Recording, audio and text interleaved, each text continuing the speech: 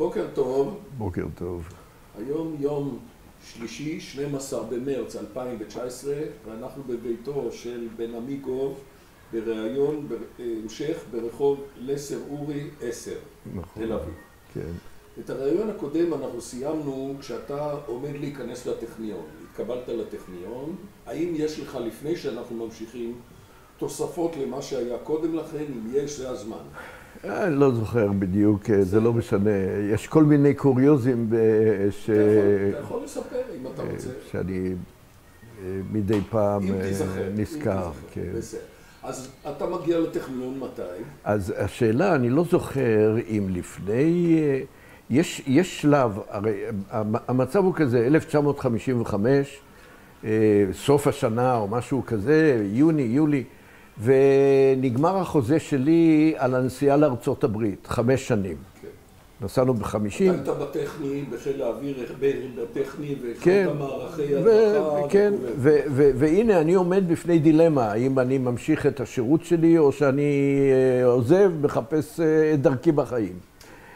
אה, אני תמיד רציתי ללמוד, אבל הנה אני מוצא את עצמי במצב שאני בודק את האפשרויות. כמובן בתחום התעופה הלכתי לתעשייה אווירית שהייתה בהתחלתה, היא הייתה בת שנתיים. בבדק. התעשייה האווירית, בדק, בדק מטוסים, בדק, כן, וכבר היו שם כמה חבר'ה שהכרתי לפני כן. לא, לא- נראה לי, לא, לא כל כך... הלכתי לאל על, זה בכלל אה, לא היה, לא בא בחשבון. ומצבי בחיל אוויר היה די טוב, זאת אומרת, הייתי סגן, אבל היה לי כבר אה, איזשהו שם, כן, של אה, קצין מוצלח. והנה אני מקבל אה, זימון ל... אה, למהנדס הראשי של חיל אוויר, ראש אה, בצד, והוא מציע לי לנסוע לקורס לקצינים טכניים בארצות הברית. אני חושב שאת הקטע הזה על גם... זה דיברת, דיברתי. אז עברנו את זה. עברנו את זה. והנה, בין היתר היה לי, אה, היה לי אה, אה, מינוי, באותו זמן, במקביל, אני לא יודע איך זה יצא, שהיה לי גם מינוי להיות קצין טכני של טייסת 101 בר- ברמת דוד, אה, של מוסטנגים. עכשיו, מי שהיה מפקד טייסת תחזוקה באותה תקופה ברמת דוד היה ישראל רוט. היה רב סרן. הוא הכיר אותי טוב לפני כן, כי הוא היה במטה, במטה חיל אוויר, אחראי על הנושא של ההדרכה הטכנית. אז כשהייתי בבית ספר טכני, הוא היה בין אלה שבהחלט, אה, איך אומרים, אה, החזיקו ממני. והיינו ביחסים יוצאים מן הכלל. והנה, אני, בינתיים, קורא לי אה, רמצת חיל אוויר ומציע לי את הנושא הזה של הטכניון. שזה היה גם אה, משהו מיוחד. אה, במסגרת, בהמשך למחשבות הבולשביקיות שהיו קיימות, אז אה, החליטו לעשות קורס לשנתיים בטכניון, מאוד מרוכז, כולל הקיץ, כן, שנתיים, למהנדסים צבאיים. זאת אומרת, לא מקבלים תואר מלא אזרחי, כדי שלא יוכלו לברוח לשוק האזרחי, אפשר יהיה להחזיק אותם בצבא. זה היה הרעיון. וזה היה אינטנסיבי מאוד, כן. זה היה הרעיון. עכשיו, מאחר ואני אמרתי, אני מוכן ללכת לאתגר הזה, אבל בינתיים יש לי את המינוי לטייסת 101, שהוא התבטל, אז אני נוסע לרמת דוד, לישראל רוט, בשביל להסביר לו למה אני לא מגיע, ושאני הולך לקשור את גורלי בחיל אוויר להרבה שנים. כי אחד התנאים של הכניסה ללימודים האלה היה לחתום ל-15 שנה. 15 15 שנה. על שנתיים לימודים. על שנתיים לימודים. זה היה טירוף, איזה יחס. כן. אבל אני החלטתי שאני הולך על זה. אמרתי, מה, אני רוצה ללמוד, ו-15 שנה, מה אכפת לי? אני, אני אעשה עבודה מקצועית שמעניינת אותי. והנה אני בא אליו למשרד, לרמת דוד, ואני מספר לו. וזאת נקודה אה, קריטית בקריירה שלי, המפגש הזה. הוא קבע את גורלי עד סוף השירות שלי בחיל אוויר. כי אני נתקלתי בעוינות בלתי מוסברת, בלתי רגילה. הוא כל כך היה עוין לרעיון הזה שאני הולך לטכניון וללמוד במקום לבוא לרמת דוד, ובעיקר מה שחרה לו, כן? זה שאני לא מוכן לקבל את דעתו, לקבל את, את מה שהוא רוצה שאני אעשה. ושאני לא אלך ללמוד, אלא אבוא לרמת דוד. היה לנו דיון מאוד מאוד קשה, שבסופו הוא אומר לי, אם אתה לא בא הנה ואתה הולך לטכניון, אתה תשלם בשביל, על זה ביוקר. זה בכלל הרס אותי. אמרתי, אני אשלם, נראה מי משלם. ויצאתי ממנו בטריקת דלת, וזהו. ובזה בעצם נקבע ההמשך, שאנחנו נגיע אליו. הלכתי לטכניון. עכשיו, היו... אני רוצה רגע להבין. כן. כשאתה תוכננת להגיע להיות אה, קצין טכני ב-101, מה זה קשור בקורס בארצות הברית? היית מתוכנן קודם קורס ואחרי זה לבוא? לא יודע, אני לא זוכר בדיוק את הסדר, אבל אני יודע שזה היה המצב. אוקיי. הייתה האופציה הזאת, והייתה האופציה הזאת, לא, לא זוכר. הרי את האופציה של אה, אה, ארצות הברית, היא בוטלה כי הוא... איך הגיע העניין של הטכניון? יהודה רבין, שהיה אז הרבצ"ד של חיל האוויר, הוא קרא לי ואמר, תשמע, אני רוצה לשנות את התוכנית. במקום שאתה תיסע עם פנחסי, אילן פנחסי, לאילני, פנחס אילני, לארצות הברית, אני רוצה לשלוח את שמלץ, רב סרן מעקרון, מי"א 22, שהוא יותר מבוגר, עוד מהצבא הבריטי, וזו הזדמנות אחרונה שאני יכול לתת לו שילמד משהו. אתה צעיר, לך לטכניון. למה לא ביקשת שיהודה רבין, שהוא בכיר מזה, מאירות, כן. שהוא יעשה לך את העבודה? למה זה צריך היה לבוא ממך, שזה יבוא מלמעלה? אז זהו, אז זה לא בא ממנו. הוא החליט, הוא הציע לי את הטכניון, אמרתי יופי, אני חושב שבדיעבד, לא- כשידעת שלא יכולת לקבל, שזאת תהיה התגובה. אני לא ידעתי שזאת תהיה כן, התגובה. אבל לפחות שיהודה רבין... הרי אני אפילו לא הייתי צריך לנסוע, כי אני, אני הלכתי מתוך מחווה של ידידות, כי היינו בידידות. אז אני החלטתי מחויבות לבוא ולהסביר לו למה אני לא בא. וזהו. אבל אני, זה היה דבר בלתי רגיל, ואנחנו עוד נראה את ההמשך. איך זה קיבל ביטוי הלאה. זה קבע, בפירוש קבע את ההמשך. עכשיו, ב, ב, ב, נכנסנו ללמוד הטכניון, היינו קבוצה של... אה, אה, עכשיו, הייתה הגבלה לאיזה פקולטות אתה יכול להיכנס. אה, לא שמעו אותך בכלל. יכול להיות שלא שמעו אותך. כן. הייתה הגבלה, היו, אה, לא יכולת ללכת לאיזה פקולטה שאתה רוצה. אז היה הנדסת מכונות, הנדסת בניין, אה, חשמל. עוד לא הייתה אווירונאוטית. היה, אווירונאוטיקה, התחילה, אה, הייתה בת שנתיים, ממש בתחילת הדרך. עכשיו, אני כמובן הלכתי להנדסת מכונות, כי זה היה הכי טבעי. היינו בקבוצה של הנדסת מכונות 15 חבר'ה מחילות שונים. מחיל האוויר אני הייתי היחידי. והתחלנו את הלימודים, גמרנו שנה ראשונה, נכנסנו לקיץ של שנה שנייה, אה, למדנו קורס ב' וג' במקביל, היו לימודים קשים מאוד, היה מאוד אינטנסיבי. אה, התחלנו ללמוד מקצועות של קורס ג' כשעוד לא גמרנו קורס ב'. בקיצור, גמרנו את הקיץ של השנה השנייה, הראשונה, נכנסנו לשנה השנייה. ובסוף השנה השנייה היינו במצב שבעצם גמרנו קורס ג'. חוץ מאיזה שניים שלושה מקצועות, שזו הייתה בעיה להשלים, בינתיים בשנה השנייה הזאת צה"ל החליט להפסיק את התוכנית הזאת.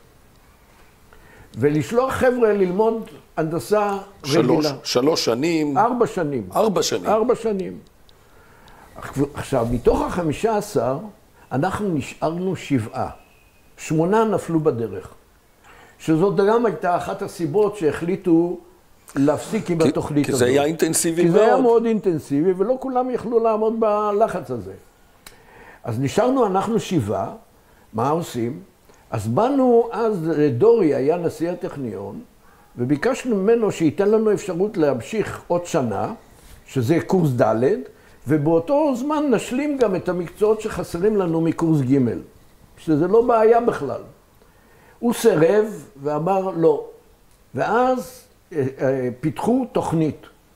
ואמרו, כל השבעה האלה יחזרו לשנה לעבודה בחילות שלהם, באיזשהו מקום. כעבור שנה, יישארו רשומים פורמלית בטכניון, כאילו שהם זה. באותה שנה ישלימו את המקצועות שחסרים.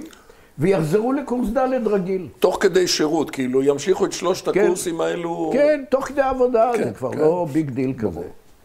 עכשיו, בסך הכל לי היו חסרים, אני יודע מה, אלקטרוניקה שימושית, מעבדה למשהו, לא, לא, לא דברים רציניים, שבאמת בקלות אפשר היה לעשות את זה תוך כדי עבודה, עובדה שעשינו. עכשיו, אני הייתי סגן, הציבו אותי לבית ספר טכני. זה היה נוח מאוד, כי הייתי יכול לבוא לטכניון, לעשות שיעורים, לשמוע הרצאות. ובבית ספר טכני הייתי שנה, ואורי פרויס היה אז מפקד הבסיס, הוא אה, בכלל היה אחד ממעריציי הגדולים ביותר. עד כדי כך, שביום העצמאות של אותה שנה, היה צריך, ביקשו ממנו לתת קצין שיהיה המפקד של הקבוצה של חיל אוויר במסדר של יום העצמאות ברמת גן, באיצטדיון. את מי בחרו? אותי. באיזה תפקיד אתה הפעם, בקפנסיה הזאת? אני, אני בבית ספר טכני, מדריך ראשי. מדריך ראשי. של בית ספר טכני. קיבלתי דרגת סרן בינתיים, והיה אומנם מדריך ראשי, אשר אה, אה, אדמון, שאני הכרתי אותו עוד בארצות הברית, הוא היה איתנו וזה, אבל הוא בעצם לא עשה, אני עשיתי את כל העבודה. כמדריך ראשי, גם היה לי היכרות של בית ספר טכני, אני הכרתי את כל המערכת. ו...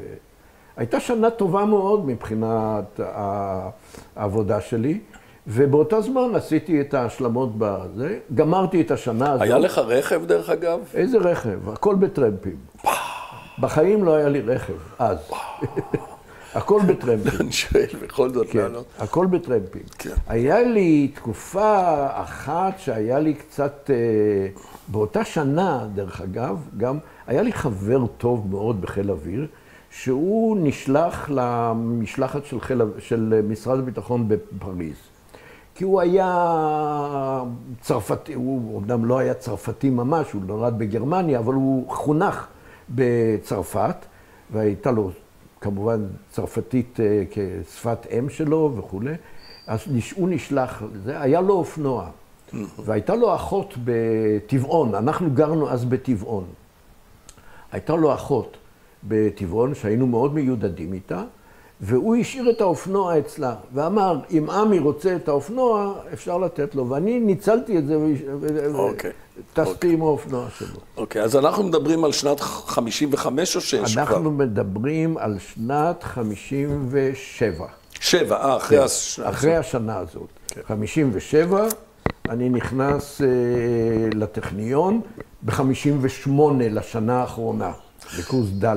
אפרופו, איפה היית במבצע קדש? אתה... מבצע קדש הייתי בטכניון. ולא לא באת ל... נסעתי לרמת דוד, כן. וביקשתי אולי אני יכול לעשות משהו, אמרו לי לא. לא צריך. אוקיי, אוקיי, בסדר. אתה סרן, מה, מי, מי צריך אותך? בסדר. לא צריך אותך. אוקיי. פה אני רוצה, בדיוק אני נזכר. עכשיו אני נזכר באיזה אירוע מאוד מעניין. אה, בבית ספר טכני, הייתה מחלקה של אה, צנחנים, שהם היו השמירה על הבסיס. Okay. כן. וביניהם היו שני אה, קצינים, סרן וסגן. ובאחד הימים היו הקרבות בסיני ובאזור ירושלים. לא. לא. ב, זה ב, רק בסיני היה, בקדש רק בסיני. אז, אז בסיני, ו, והנה אחד מהקצינים, סגן, ברח. זאת אומרת, עזב את הבסיס והצטרף לחבר'ה שלו בלחימה ב... סיני. בסיני. וכמובן שהוא הפרת אה, משמעת וזה וכולי וכולי. והגישו נגדו תלונה, הוא חזר, כן? הגישו נגדו תלונה, ואני הייתי צריך לשפוט אותו. והייתה לי התלבטות קשה מאוד. מצד אחד, הוא, אם הוא היה נהרג, אז מה, לא היו אומרים שהוא גיבור ולוחם וכולי וכולי? או נפצע קשה, או משהו כזה, והנה הוא חזר שלם ובריא, והוא הפר פקודה, הוא עזב את התפקיד שהיה מוטל עליו לשמור על הבסיס, והוא הלך להילחם. מה עושים עם דבר כזה? ואחרי התלבטות קשה מאוד, אני החלטתי שלא להוריד אותו כמובן בדרגה, אבל בהחלט להכניס הערה. התראה. כן, הערה ונזיפה. נזיפה או התראה? כי התראה זה עוד פחות מנזיפה. לא, נזיפה, ממש לתת נזיפה, שזה לא, אי אפשר, לא יכול להיות. אפילו אם אתה מתנדב לדבר הכי מסוכן והכי הירואי, אתה לא יכול להפר פקודה אם אתה במסגרת של הצבא. ברור, אוקיי. אז זה... רגע. לא יסלח לעצמו אם הוא לא יהיה שם. בדיוק. כן. בקיצור, אה, חזרנו לטכניון. שנה רביעית. שנה רביעית, קורס ד', ואז אה, היה די קל, ואני החלטתי שאני יכול לעשות עוד משהו, ואז אפשר היה, היום זה כבר לא ניתן, הרבה שנים זה לא ניתן, לא הייתה פקולטה מיוחדת לתעשייה וניהול. אבל אפשר היה לצרף את זה כתוספת להנדסת מכונות ולהוסיף עוד סמסטר תשיעי. כי יש לך ככה שמונה סמסטרים ועוד סמסטר תשיעי עם עבודה סמינריונית. ואני בחרתי להוסיף את זה כדי... אבל הנה אנחנו מגיעים לסוף השנה. הסמסטר התשיעי, אני כבר צריך להיות בעבודה. זה לא ללימודים שלמים, וגם לעשות את העבודה הסמינריונית. בקיצור, אה, עוד משהו לפני שאני מגיע לסוף שנה רביעית, בסוף השנה השלישית, בסוף השנה השלישית היה, אה, בחרו בסטודנטים לחילופי סטודנטים. מה זה חילופי סטודנטים? ששולחים סטודנטים מצטיינים ושולחים אותם לעבודה באיזשהו מפעל בחו"ל, או לאיזשהו מוסד אקדמי, לאיזושהי עבודה שקשורה ללימודים שלהם. והנה אני נקרא על ידי אה, דיקן של הפקולטה ואומר לי שהם אה, מציעים לי, אה, יש להם, יש להם לטכניון מקומות במפעל לטורבינות בהולנד. ואני כמובן שמחתי, הזדמנות בלתי רגילה, לנסוע לשלושה חודשים לעבוד במפעל הזה. ואני מגיש בקשה. עכשיו, כסטודנט בטכניון, למרות שאתה איש חיל אוויר, אתה משתייך באותה, בתקופת הלימודים, למה שנקרא מחלקה ל... כן, רם, רם משהו, רם... כן, משהו... השתלמויות. השתלמויות, כן. אגף השתלמויות וזה. והמפקד של האגף הזה היה תת-אלוף, ג'וני, אני לא זוכר את שמו המלא. עוד לא היה תת-אלוף אז, לא אבל לא חשוב, אלוף משנה. היה אלוף משנה, והוא אחר כך נהיה תת-אלוף, יותר מאוחר. אה, על כל פנים, אה, אני בא ומגיש בקשה, וזה, וזה אושר לי. זה אושר לי עוד לפני שהלכתי לבית ספר טכני. אני חוזר. עוד שנה שלישית, זה עדיין בשנה השלישית. אני בסוף השנה השנייה, אבל זה כאילו סוף שנה שלישית. שלישית, ברור. ו, והנה, אה, קוראים לי למטה, ואומרים לי, אתה לא יכול לנסוע. מי? ישראל רוט, שהיה ברמת דוד, הוא עבר למטה, מתישהו, והוא היה ראש ענף מצד שלוש. עכשיו, מצד שלוש, במבנה הארגוני של אז, היה הענף הבכיר בתוך מערכת מצד, שהוא היה הענף שבעצם ניהל את התחזוקה של חיל אוויר ואת התיאום בין הענפים המקצועיים. וזה ישראל רוט. ולא, אתה לא יכול לנסוע. לא עזר לי שום דבר. אני אה, הלכתי לארווין דורון, שהיה ראש אכ"א,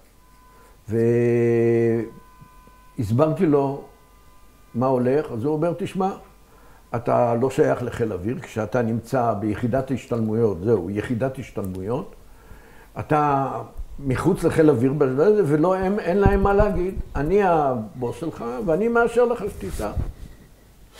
ואני מתחיל לנהל את כל העניינים, דרכון וכל הסיפורים האלה.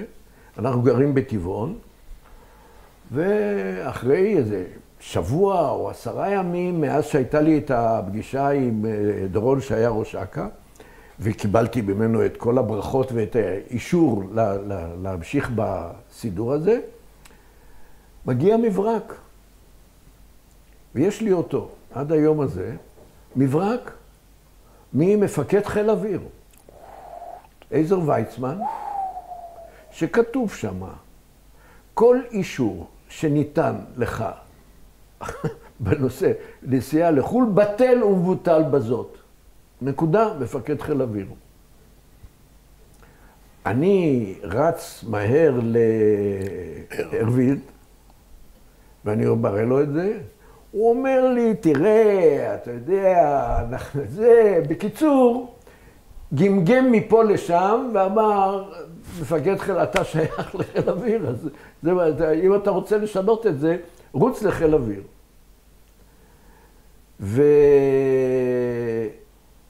ועזבתי את זה, לא הייתה לי ברירה. למה לא ביקשת ראיון אצל עזר ויצמן? לא, לא, לא ביקשתי.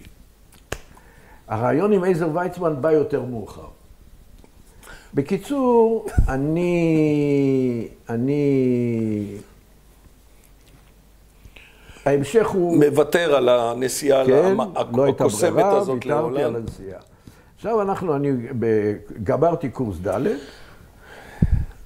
ואני מבקש פגישה עם אה, יהודה רבין, רמצת חיל אוויר, המטה כבר בתל אביב, פה, בקריה, ואני בא אליו למשרד, יום ראשון של השבוע, זוכר את זה כמו היום, ואני נכנס אליו לחדר, וכמו יש שולחן הדיונים הארוך, והוא יושב שם ב, על יד ה...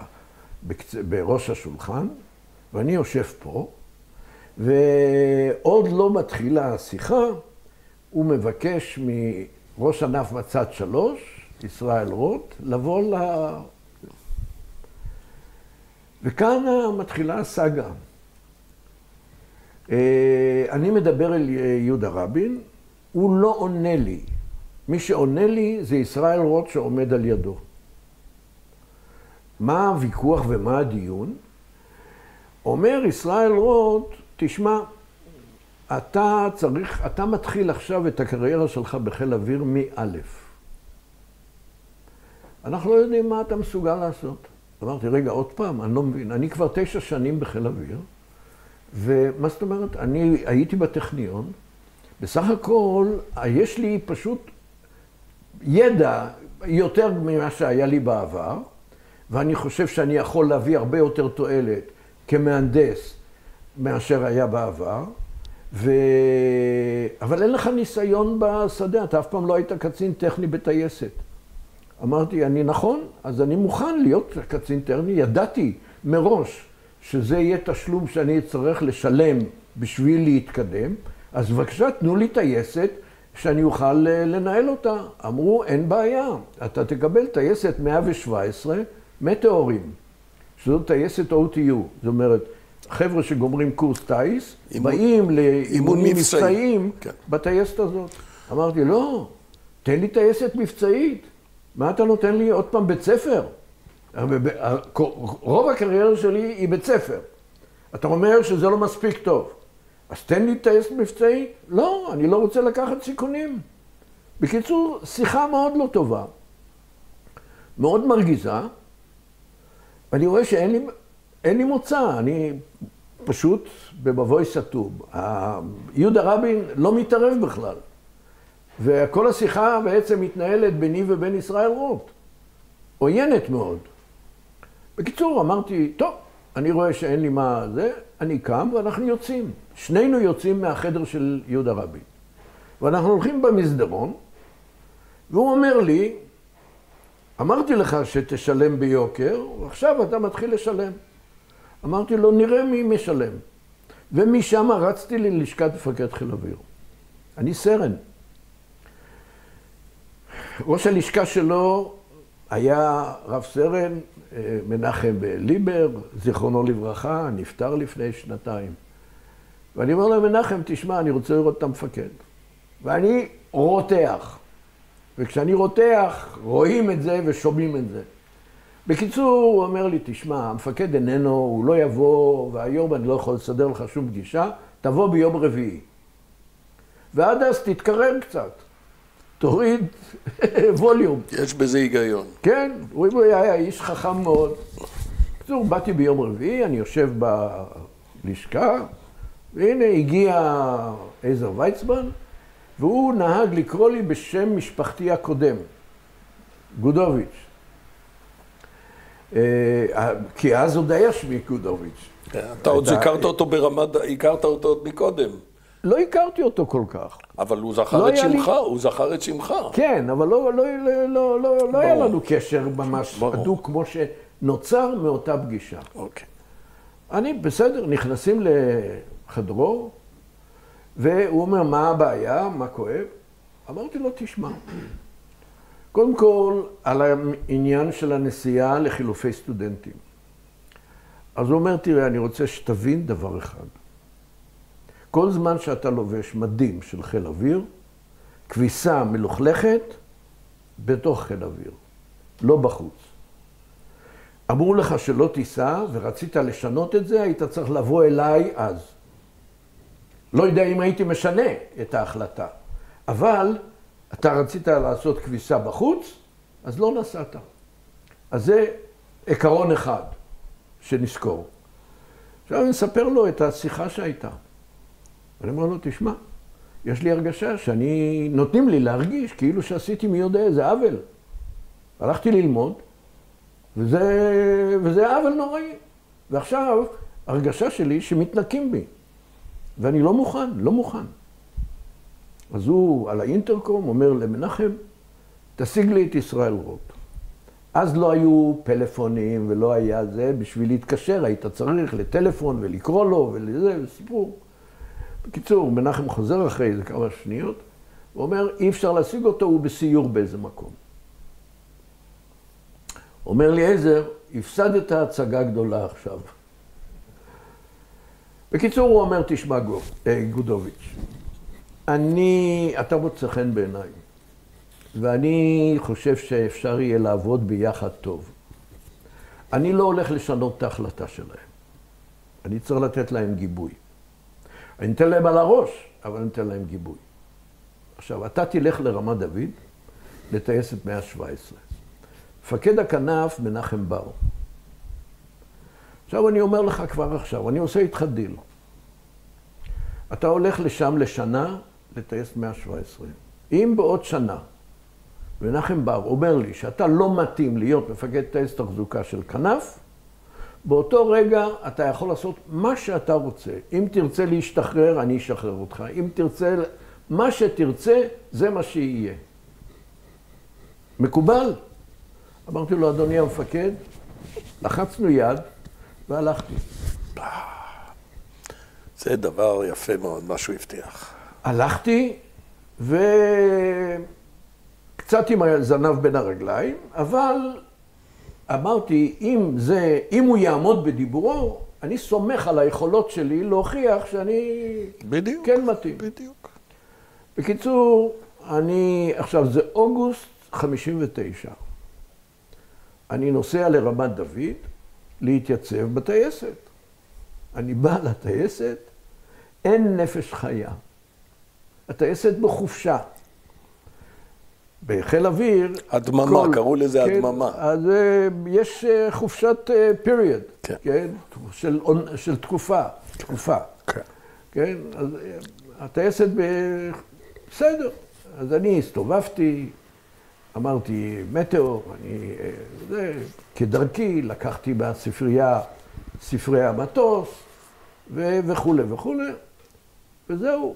אחרי כמה ימים חזרו, ואז התייצבתי, מפקד הטייסת, שמעון אש, יהודי נחמד מאוד, אה, דרום אפריקאי, אה, אנגלו-סקסי על כל פנים, אני חושב, היה דרום אפריקאי, נהרג ב-73, לדאבוני. היה בחור מקסים, והסתדרנו יוצא מן הכלל. ואני עשיתי מהפך בטייסת, מבחינת תחזוקה, מבחינת מעמד של הצוות הטכני, אה, מבחינת, אה, הכנסתי את המושג של מדרוג. היה אומנם, יד, ידעו בחיל האוויר מה זה מדרוג מטוסים, ועבדו לפי מדרוג מטוסים. המדרוג מטוסים זה תכנון מראש מתי אתה מכניס מטוסים לבדיקות שגרתיות. כי אתה הרי לא מחכה שיהיה אה, שבר או משהו, אלא אתה עושה בדיקות שגרתיות כדי לוודא שהמטוס במצב תקין ושהוא אה, יכול אה, לטוס. כשאתה אומר מעט... מדרוג, כשאתה מה? אומר מדרוג, הכוונה היא שלא יהיו מטוסים יותר. מדי בבת אחת את... שגמרו שעות. זאת אומרת, שיהיה חל... לא, דירוג מה שאתה עושה, כן. מה שאתה עושה, יש לך את תוכנית התחזוקה של כל מטוס. כן. שנניח כל כך וכך שעות טיסה, אתה צריך לבדוק את כך וכך דברים. אז עכשיו, אתה לא רוצה להכניס את כל המטוסים בבת אחת. עכשיו, הקריטריון שעליו לפיו אתה עובד, זה שמישות מקסימלית. אין, אין 100% שמישות. לא יכול להיות. כן. כי תמיד יש מטוס שיש לו בעיות. כן. או יש מטוס שהוא בבדיקות השגרתיות. אז אתה עושה מה שנקרא staggering, מדרוג של המטוסים, כך שאתה לפי מצב של כל מטוס, שעות הטיסה וכולי וכולי, אתה מכניס אותו למוסך ועושה את העבודות ההחזקה. אוקיי, זהו. זה stagger. יש משוואה, יש נוסחה אה, בסטטיסטיקה, שאתה משתמש בה בשביל לעשות את העבודה הזאת, זה תורה שלמה. MTBF כזה? זה בודקים מה? MTBF? כן, אוקיי. כן. אה, בדיוק, ה-MTBF הוא חלק מה... ברור, זה, אוקיי. מה, מאותה נוסחה. עכשיו, זה תורה שלמה, דרך אגב, הנושא של staggering, כי אתה יכול להשתמש באותו עיקרון לגבי כל מיני דברים, שאתה מפעיל ואתה רוצה שהתחזוקה שלהם תהיה אה, מסודרת. אה, לא היה לי כל קשר עם הכנף עצמה, כן? אמנם, הרי בטייסת עושים דרג א', ובכנף עושים דרג ב', את התחזוקה היותר גדולה. אז רק כשהמטוסים היו במוסך שם, וזה, היה לי קשר עם מי שהיה בתוך המוסך, אבל לא עם, ה... עם הצוות היותר בכיר של התחזוקה. עכשיו, אה, הייתה גם בעיה אה, מסוימת בהיקלטות שלי בכנף, מפני שאני הייתי בוגר הטכניון, הייתי מהנדס אה, מדופלם, ואף אחד מהחבר'ה שהיו שם לא היו מהנדסים. אני הייתי המהנדס הראשון שהיה בתפקיד הזה, והייתה קצת הסתייגות של החבר'ה ממני, כי ראו אותי כאיזה מין... צנחן, צנחן שבא. מישהו שלא שייך לא בא, מה, לא היה גריז מונקי. למרות זה שעבדתי בטייס 105 על הספיטים בזמנו, אבל לא תקופה ארוכה. אה, ומנחם בר, המפקד הבסיס, היה בא מדי פעם לבדוק, ל, ל, ל, ל, ל, כן, אה, היה מבקר בטייסת, מבקר את אה, מפקד הטייסת, וגם אותי מדי פעם היה משוחח איתי, הוא לא היה דברן גדול, מנחם בר. והנה יום אחד הוא קורא לי והוא אומר, אני רוצה למנות אותך בתור uh, היושב ראש ועדת הייעול של הכנף. למה?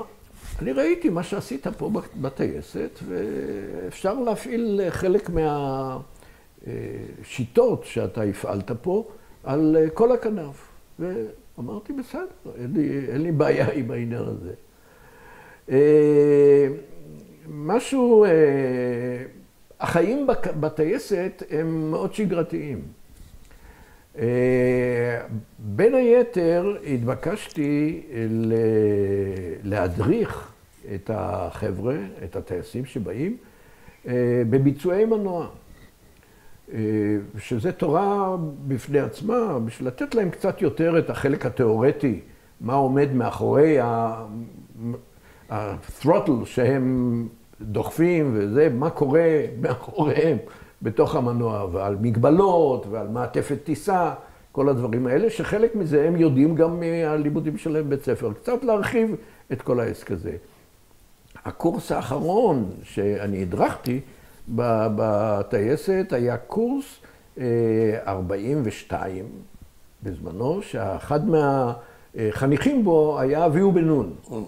זאת אומרת, פשוט לתת פרופורציה מבחינת הזמנים, כן? באחד הימים אני יושב על המרפסת בטייסת, והמדריך הראשי של הטייסת היה אברהם הכהן. אברהם הכהן שנהרג אחר כך בערבה. עם הערבה, עם הערבה. הוא היה טייס הניסוי של תעשייה כן, אווירית. כן. אבל אז הוא היה, זה, התיידדנו מאוד, כי היה לנו רקע משותף. הוא מבית אלפא, השומר הצעיר, אני גם השומר הצעיר. והיינו, התחברנו מאוד, היה בחור מקסים, אני מאוד חיבבתי אותו. והנה יום אחד הוא בא ואומר לי, עמי, תשמע, אני הולך לגרור drogue. זאת אומרת, מטרה נגררת, שהחבר'ה באים ויורים עליה. בוא תטוס איתי.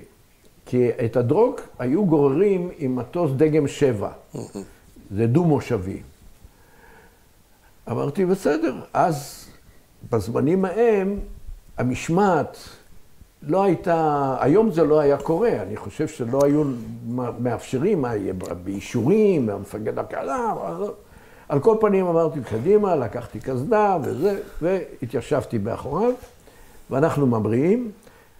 המטוס עם מכלים חיצוניים, מלא דלק כבד, כדי להיות הרבה זמן באוויר, בשביל שיספיקו לירות הרבה.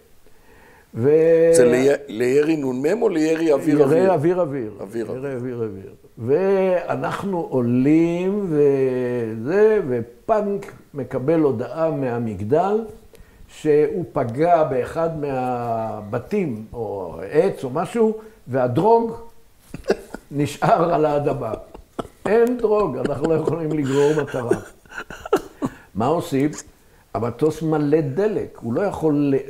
מאוד, מאוד לא רצוי שהוא ינחת עם המשקל האדיר הזה, עם כל הדלק, אז צריך לשרוף דלק.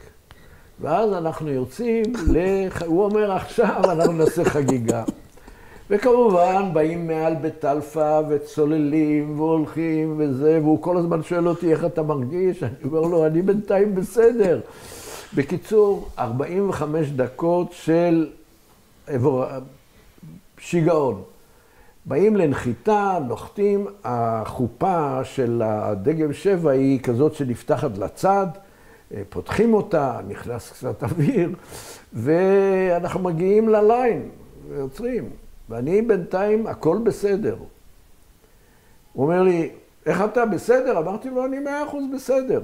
הוא אומר, כל הכבוד לך. בקיצור, הוא יוצא, ואני מתרומם, ואז בבת אחת, כל העולם הסתובב לי, הכיתי את נשמתי, ואז כמובן באו החבר'ה וזה, לא, אני התעקשתי לנקות את זה לבד. וכך היה. זה מין חוויה שהייתה ב-117. כן. בקיצור, עברה שנה. כן. אנחנו באוגוסט 1960. אני מקבל טלפון ממנחם ברבה, מפקד הבסיס. הוא אומר, תשמע, מפקד חיל אוויר פה, רוצה לראות אותך. ואני כמובן אתה עדיין סרן? אני עדיין סרן, מפקד טייסת 117. אה, לא מפקד, מפקד גף טכני. מפקד טכני. גף טכני. גף כן. טכני. בקיצור, אני מגיע למשרד של אה, מנחם בר, גודוביץ', מה נשמע וכולי וזה, בסדר. הוא אומר, תשמע, אני מעלה אותך עכשיו לדרגת רב סרן. והוא אומר, מנחם, תביא פלאפלים. ושם לי דרגות רב סרן על הכתפיים, ואומר לי, מהראשון לאוגוסט, אתה מפקד טייס תחזוקה של רמת דוד. זהו. לחצנו ידיים. יפה מאוד. ואיך הוא אומר לי? הוא אומר, כל דבר איתך הוא לא שגרתי, אז גם זה לא שגרתי. כמובן שאחר כך יהיה כל הפרוצדורות הפורמליות וכולי וכולי. וקיבלתי את אה, רמת דוד מבחור בשם אבנר הלבני, זיכרונו לברכה, שהיה בחור נחמד, פילוסוף. אפשר היה לשבת איתו שעות ולדבר על כל מה שאתה רוצה. בפרקטיקה של ניהול הכנף, ניהול התחזוקה, הוא הסתמך על זה שיש לו סגן, שקראו לו כבודי, יוסקה כבודי, שהיה המלך של הכנף בתחזוקה. המלך של הכנף. והנה, אני יושב איתו, אני יודע, כמה ימים, והוא עוזב, ואני צריך לנהל את החגיגה הזאת לבד. ופה אני נתקל בבעיות, ה... הייתי אומר, הבסיסיות של ניהול. קודם כל, לא כל כך מקבלים אותי. עדיין, למרות שאתה לא, כבר שנה. לא, אני שם, אבל לא פה, פה אני בא להיות הבוס שלהם. אז כבודי, עם כל הכבוד, לא ולי, הוא הרגיש שחלק מהכוח שלו, מהמעמד שלו, נפגע. רגע, תעצור רגע. סליחה. ואני ככה יושב ביני לביני, ואני אומר לעצמי, מה אני צריך לעשות כדי לזכות בשני דברים. א', שהשליטה על התחזוקה תהיה בידיי, ושאנשים יבינו ויפנימו שאני, שאני המנהל, שאין אין, אין דרך אחרת, אלא זה מה שיקרה. ואז בניתוח של הדברים, עשיתי כמה דברים שאני רוצה פשוט... אה, לזה. אני ראיתי ככה, יש שלושה מוסכים של, בדרג ב', יש מוסך של המסתרים, יש מוסך של הווטורים ויש מוסך של המטאורים. ויש בית המלאכה של המנועים. אלה ארבעה המתקנים הגדולים, ובסמוך לזה יש את בתי המלאכה של כל האביזרים והמערכות, התת-מערכות. אחר כך יש חימוש, ו... ואיך אתה שולט על כל מה שנעשה? יש אחר כך אה, שלושת הטייסות, ושם יש גם צוותים טכניים. שהם, ו... אבל הם, הם כפופים אליך? הם לא באופן ישיר. הם, הקצין הטכני של טייסת. המפקד שלו הוא מפקד הטייסת. כן. אבל הוא מתואם על ידי מבחינה טכנית. ברור. זאת אומרת, הוא מקבל הנחיות ממני. ברור.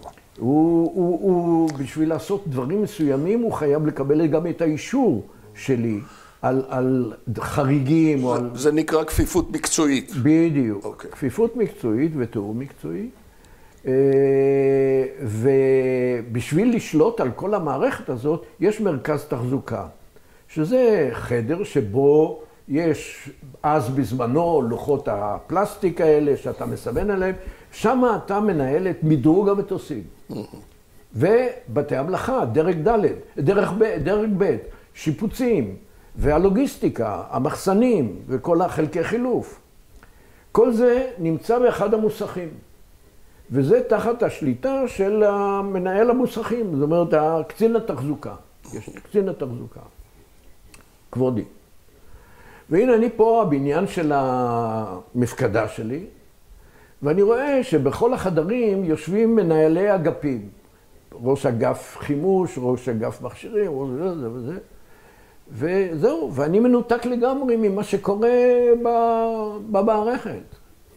בשביל לדעת, אני צריך ללכת למוסך ולשבת שם עם כבודי ולראות מה קורה. אמרתי, קודם כל, אני לא צריך את מנהלי האגפים האלה על ידי. אם אני צריך אותם, אני אקרא להם, הם יבואו. איפה הם צריכים להיות? הם צריכים להיות במקום איפה שהחבר'ה שלהם עובדים. נכון. והם צריכים לפקח ולראות ששם הכל בסדר. נכון. אין להם מה לשבת פה. אז דבר ראשון, אמרתי לכל אלה, רבותיי, אאוט מפה. מצאת להם פינה בכל מקום? כל, תמצאו, תסתדרו, כן? צריך להבין שזה עורר התנגדות. ברור. זה לא היה פשוט. ברור. פה אתה מדבר עם אנשים שהם ותיקים, הם גדלו פה בכנף מאז שהם היו סמלים או רבי טוראים והם היום סרנים. כן? זה המצב. ואתה פה צריך להיות מאוד טקטי ולמצוא את הדרך שבה אנשים בסופו של דבר יקבלו את התפיסה הזאת. אז זה דבר ראשון עשיתי. זה עבר בשלום? בהתחלה לא כל כך. התחילו להגיד, אה, זה, למה פה, למה שם וזה, אבל לא הייתה להם ברירה, כי אני התעקשתי. ואז אחד מהחדרים שהיו פה בבניין של המפקדה שלי, חדר גדול מאוד, לקחתי את המרכז תחזוקה והעברתי אותו הנה, וקראתי לו פק"א, פיקוח החזקה. ופה שמתי כמה חבר'ה, שני חבר'ה, שהם ניהלו בעצם את כל הניהול של התחזוקה של הכנף. וכבודי לא עבר? לא, הוא אחראי שם, הוא לא, זה לא תפקידו. אוקיי. לא, הוא צריך לראות. אז עכשיו הכל בקרבתך, אתה... הכל אצלי, בבניין אצלי. ברור. ואז אמרתי, עוד איזה... זאת אומרת, יש לי את הפק"א, קודם כל, תחת שליטתי, כי זה פה, אני כל, כל יום, בבוקר נכנס, בצהריים נכנס, בערב נכנס, אני פה, זה, זה תחת שליטתי. ושכללתי שם בפנים את כל הלוחות בקרה ואת כל התקשורת, עשינו מרכז תקשורת וכולי. עם, עם כל הדיווחים, שיטה של דיווח שוטף על מצב של המטוסים, החימוש והכל. זאת אומרת, אתה קיבלת נתונים מכל טייסת על מצב של כל מטוס. מכל דתק אפילו. מכל דתק. כן.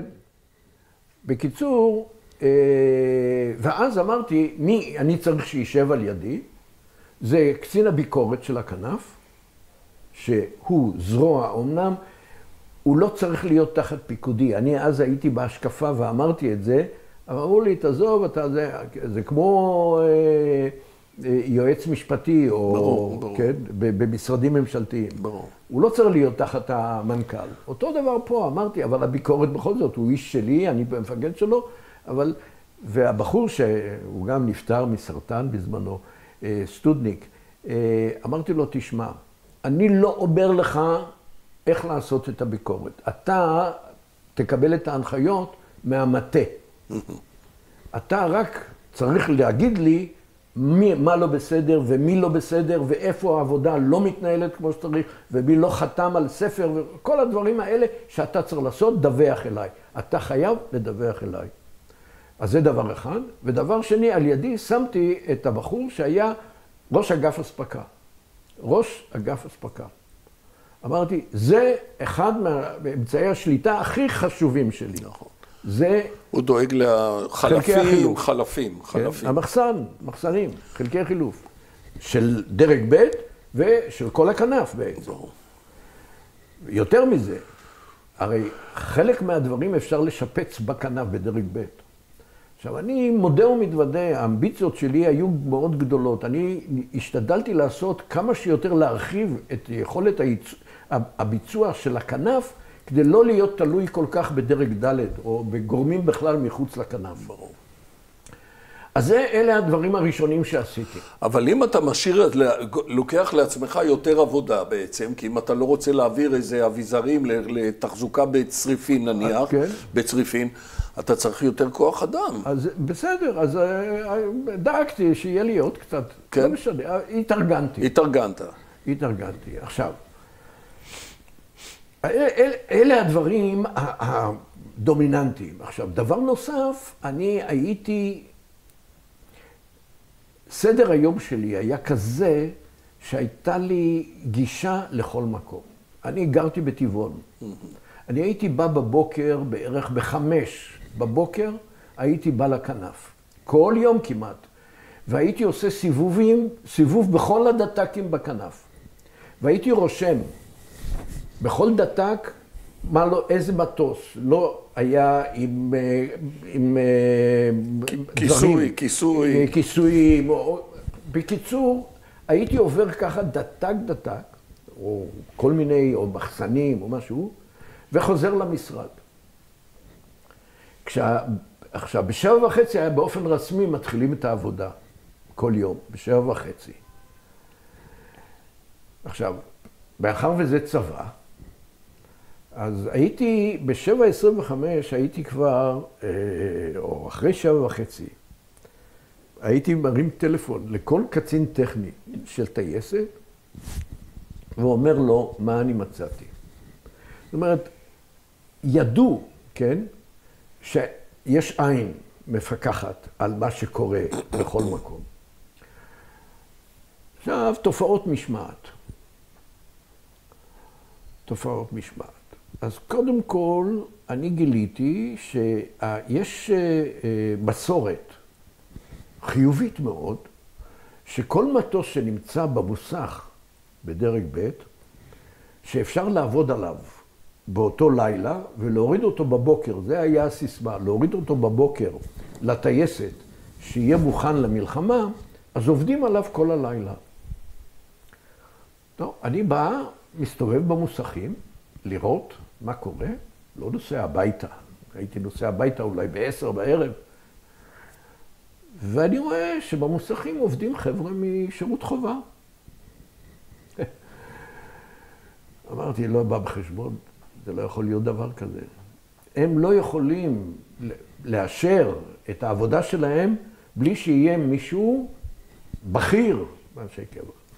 אז הוצאתי הוראה שאסור להשאיר במוסכים לעבודת לילה חובה בלי שיהיה איש קבע במקום. זה דבר אחד. דבר שני, אני ראיתי... לא היה נשאר באופן קבוע לא. אה, נגד תורן בכל אחד לא, מהזה? לא. לא היה קיים. לא, לא. היה נהוג לעשות מסדר בוקר. בין המוסכים היה מסדר בוקר שכולם, כל המחלקות וכל זה. ומי שניהל את המסדר הזה, זה היה כבודי, קצין התחזוקה. אז אני באתי ואמרתי, אני מנהל את המסדר, כי אני המפקד פה. ואתה תהיה יחד עם, ה... עם החיילים שלך. אותו הדבר, ראיתי שראשי האגפים לא משתתפים במסדר. למה הם לא משתתפים במסדר? מפני שאנשי הקבע היו באים עם הסעות מכל מיני חורים, מהקריות, מחיפה ומכל מקום, והיו מביאים אותם ומורידים אותם על יד חדר האוכל. חדר האוכל היו על השולחנות, לא נותנים להם ארוחת בוקר, כי אנשי קבע שילמו רק בשביל צהריים, אבל היה לחם וזה, וריבה וקפה ותה ועוד כל מיני קשקושים. ואז היו הולכים משם ברגל למוסכים. אז הייתה שיירת נמלים כזאת שמגיעה. הם תמיד היו באים אחרי המסדר. ואז אני אמרתי לקצין התחבורה, תקשיב, אתה תביא את ההסעות הנה, מפני שאף אחד מהם לא משלם בשביל מה שמקבלים בחדר האוכל בארוחת בוקר. אז אין מה לעשות שם. אבל לא זאת הייתה הסיבה בעצם שאתה לא, רצית. תביא אותם הנה, ואז אמרתי להם, אתם תשתתפו במסדר.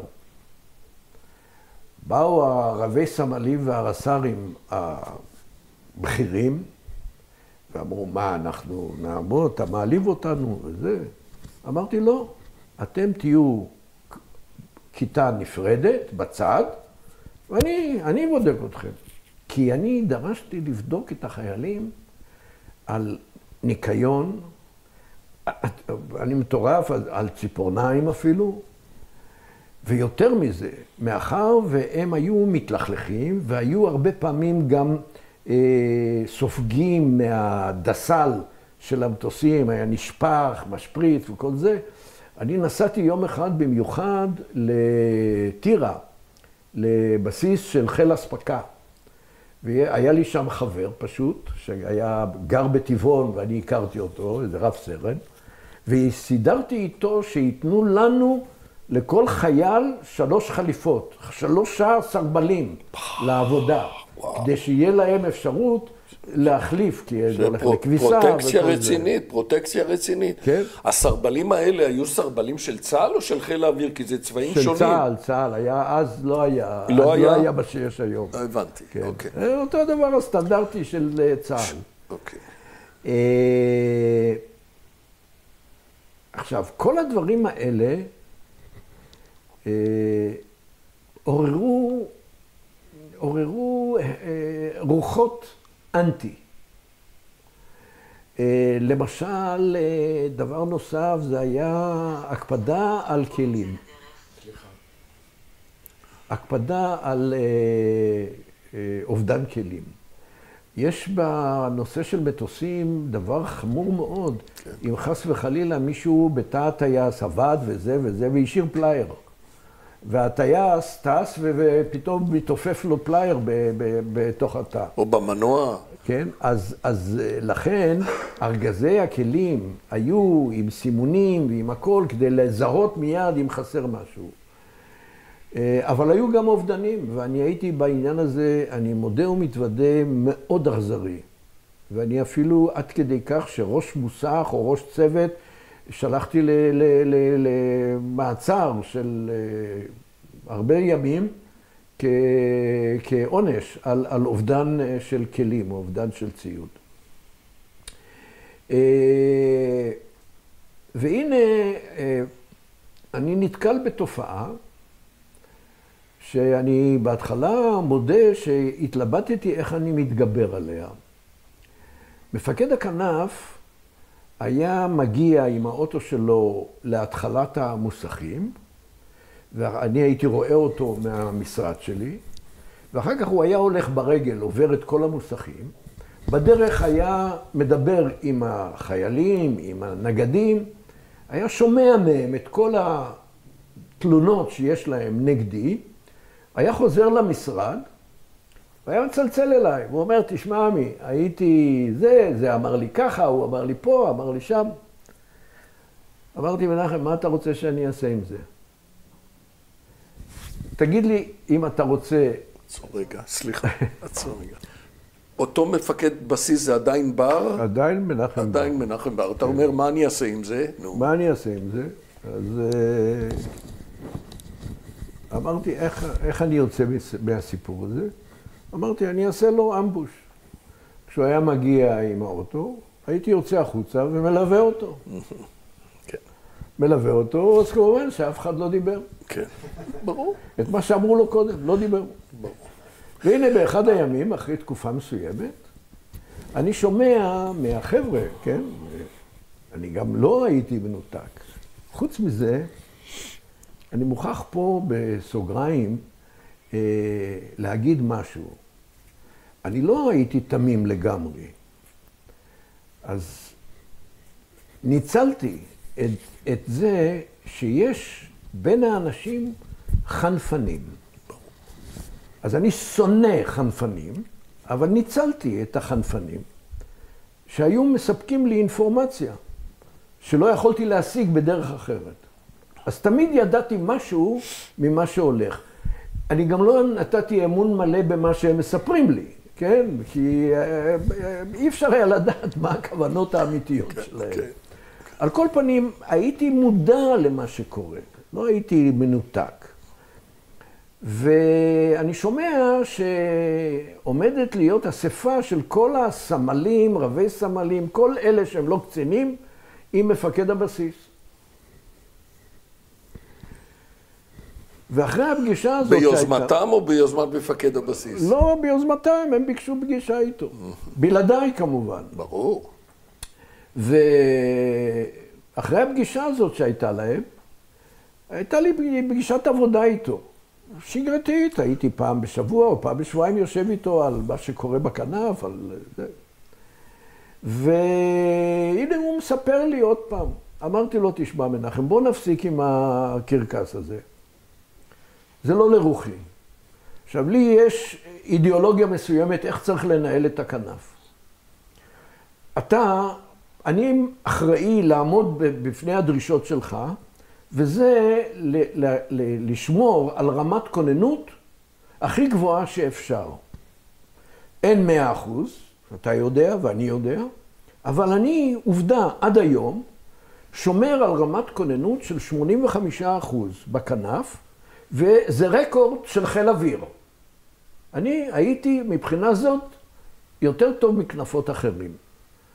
עכשיו, האם, אם אתה חושב שאני לא בסדר, תגיד לי, אני הולך מפה. אתה תגיד לי מה צריך ואיך לעשות את זה, אני אחליט. עכשיו, כל הסיפור הזה של הנגדים וכל זה וכל זה, לא, לא מעניין אותי. זה פשוט לא מעניין אותי, כי אם יש להם טענות, שיגידו לי. שיתמודדו בטענות יחד איתי. זה הכל. וגמרנו עם הסיפור הזה. לא שזה הפסיק לגמרי, אבל זה דעך בצורה משמעותית. כי אחרת אי אפשר היה לנהל את העניין. אתה גם, היו לך, עשית שינויים פרסונליים אצל הקוטרים האלו? אצל קוטר מסוים לא, כזה לא, או אחר? אני, תראה, או קראת לו לשיחה? הרי לא, יש תמיד לא, איזה מישהו... לא, לא, לא, לא. לא. נתת לאיזה... לא, אני לא התעסק, לא רציתי להתעסק עם זה. ברור. אני גם, אני גם הייתי מאוד אה, אה, חד, חד והחלטי בנושא של קידום האנשים. וכשאני חשבתי שמישהו לא מתאים לקידום, הייתי קורא לו והייתי אומר לו שהוא לא יתקדם אצלי כי א', ב', ג', ד', הוא לא בסדר. ואין שום סיכוי שאני אקדם אותו. היו באים אליי נניח מישהו שרצה לעלות בדרגה. דרך אגב, אני בחיים, סוהלת מגוד, אני בחיים, לא באתי אל מפקד שלי כלשהו לדבר על קידומי בדרגה. מעולם לא. מעולם לא. אה, ודוגמה קטנה, התחלנו להתעסק באלקטרוניקה, זה היה ממש בתחילתו הכנה לקליטת המיראז'ים שהייתה ב-62. לקראת זה היה שם מערכת, אה, סירנור, שלא עבדה, אבל לא חשוב, היה צריך זה. והנה קיבלתי סגן, בחור נחמד, אורי לעדן, שהיה ראש אגף אלקטרוניקה. בחור מאוד אינטליגנטי, שהייתי יושב איתו שעות ומדבר על מה שאתה רק לא רוצה. והנה, האורי לעדן הזה מאחר למסדר בוקר. ואני קורא לו, ואני אומר לו, אורי, חברים חברים, אבל אל, אל תתחיל איתי. תבוא בזמן, אחרת אני אדפוק אותך. במילים פשוטות. לא, זה, לא, כמו שרגילים, והנה הוא מאחר שוב. ביקשתי מהשליש של הטייסת, תביא אותו, תכניס אותו למשפט, אצלי. הוא נכנס, אתה יודע, כשמכניסים למשפט, זה טט-טט-טט. לא, הוא נכנס כאילו שהוא נכנס אה, לכוס קפה. אמרתי, אורי, אתה במשפט, אז נא לעמוד, אתה במשפט. וכנסתי אותו ב-15 לירות, אז, שהיה הרבה כסף. אמרתי לו, פעם שנייה יהיה יותר חמור. אל תתחיל איתי. זה רק בתור אה, דוגמה. עכשיו, בכנף היו עוד אה, אה, נושאים שאני טיפלתי בהם אה, בחומרה. אני מודה, בחומרה, כי האמנתי שזה מה שצריך להיות. למשל, היו חבר'ה שקודם כל, אה, לא חשוב, היו חבר'ה שגרו בבסיס, טייסים. עכשיו אתה גר בבסיס וזה, ונשבר משהו בבית. אז אתה הולך לבית מלאכה, יש הרי בתי מלאכה, יש מסגריה, יש נגריה, יש פחחייה, יש את כל מה שצריך בשביל לתחזק בית. אז היו באים וזה... אמרתי, היום לא יהיה. לא מרשה לכם להיכנס לבתי המלאכה. ויצרתי נעילות. אז גם הם התלוננו נגדי. אל מפקד הבסיס, שאני לא נותן להם, כי הם גרים בבסיס, אז מה הם יעשו אם ישיגו? אמרתי, מנחם בר, לא יעזור, אני לא מוכן, זה לא שלכם, זה לא שלי, זה של המדינה, שהופקד בידינו, אנחנו צריכים לשמור על זה, זה לא לשימוש פרטי, נקודה. לא יהיה, ולא היה. עכשיו, מנחם בר היה דואה. הוא היה דואה מאוד מפורסם, ובאחד הימים הוא השיג איזושהי תוכנית לדאון שהוא רצה לבנות לבד. עכשיו, בבית המלאכה לפחחייה שלנו היה אזרח, היו כמה אזרחים, בעיקר במניה, פחחייה. היה אזרח, שאני כרגע לא זוכר את שמו, פחח מעולה. בעל מקצוע יוצא מן הכלל. והוא לקח אותו שיבנה לו את ה... אמרתי, מנחם, לא פה. אתה רוצה שיקנה חומר? תקנה חומר, זה. היו, בבסיס היו פנים אה, מתקופת הבריטים. לא כולם היו בשימוש, לא השתמשנו בכולם. חלק היו בעיקר לתחמושת, היינו מחזיקים שם פצצות וכל מיני. וחלק, אני לא זוכר כמה, אחד או שניים שהיו, אמרתי, קח פן, שים שם מה שאתה רוצה, מופרד מהבסיס, ושם תבנה את זה. וכך היה. לא נתתי לו בשום אופן. חוץ מזה, הוא יעבוד רק אחרי שעות העבודה. או בשבתות, אם הוא רוצה, או ביום שישי, אם הוא לא איש דתי. וככה היה. מצד שני, האזרחים בעיקר שעבדו במונאייה, היה, היה להם ועד קטן, זה לא משהו רציני, ואני הייתי איתם ביחסים יוצאים מן הכלל. ואני אמרתי להם, תשמעו, בשבילי אתם בעלי מקצוע כמו חיילים, ואני את, אתייחס אליכם באותה צורה. שלחתי אותם לקורסים, להשתלמויות. אה, ממש דאגתי לתנאים שלהם. כמו שצריך לנהוג באנשים שעובדים תחתיך. דבר נוסף, אה, אחד מהדברים שלדעתי התרומה האדירה של אייזר, ויצמן, למוכנות, לכוננות של חיל אוויר, זה המושג של סבב מטוסים. שזאת הייתה מילת קסם בחיל אוויר, והייתה על זה תחרות ועבדנו על זה שנים. ההצלחה של מלחמת ששת הימים מונחת בדבר הזה. היו לחיל אוויר בסך הכל 200 ומשהו מטוסים. ב-67. ב-67. כן. בסך הכל 200. 200, 200. 200, משהו כזה. 198 אפילו. כן, 200 מטוסים. הפעלנו אותם כאילו שיש לנו 500. אז אה, כולם, כל העולם, דרך אגב, אף אחד לא האמין שאנחנו עושים את כל מה שעשינו עם 200 מטוסים. אה, וזה היה המאבק על הסבב. שבע דקות. מה גם שנפלו, עשרה אחוז נפלו ביום הראשון 29. כבר. 29. נכון, יותר מעשרה אחוז, כן. כן. 29 נפלו במכה הראשונה. נכון. אה, תראה, למרות ההצלחה הגדולה, אנחנו היום הרי יודעים, אנחנו כבר מזמן יודעים, על הרבה טעויות שנעשו, אבל בסדר. אין מה לעשות. אין, אין... אה, נכון. עכשיו, על הסבב הזה נאבקנו בצורה בלתי רגילה. אנחנו כל אה, תקופה, התקופה הייתה ארבעה חודשים, היו ארבעה ימי קרב. כל תקופה ארבעה ימי קרב? כל תקופה ארבעה ימי קרב. כל חודש יום קרב? כל ארבעה חודשים. אה, כל ארבעה חודשים? כל ארבעה חודשים. הבנתי. היו שלוש תקופות. ש... בשלוש תקופות, שזה ארבעה ימים רצופים. ארבעה ימים רצופים. ברור. בארבעה ימים רצופים כאלה, עבדך הנאמן היה ישן במשרד, ובקושי היה ישן אולי שעתיים בלילה. אני הייתי כל הזמן, 24 על הרגליים, בכל הטייסות. עכשיו, מה היינו עושים? איך, איך אתה, הרי אתה לא תשלח את כל המטוסים ולאן הם יטוסו ומה הם יפציצו. אז היינו עושים דבר כזה, היו פ"מים, נניח, אה, סתם בתור דוגמה, לוקסור. אז היו מחמשים את המטוסים למשימה, להפצצה בלוקסור, מלאים דלק והכול. המטוס היה יוצא מהדתק, מסיע לצד השני של השדה, שם היו מפרקים את הפצצות, מרוקנים את הדלק, נותנים לו לחכות את הזמן שלוקח לוקסור ובחזרה, ואז מסיעים בחזרה לזה ועובדים הלאה.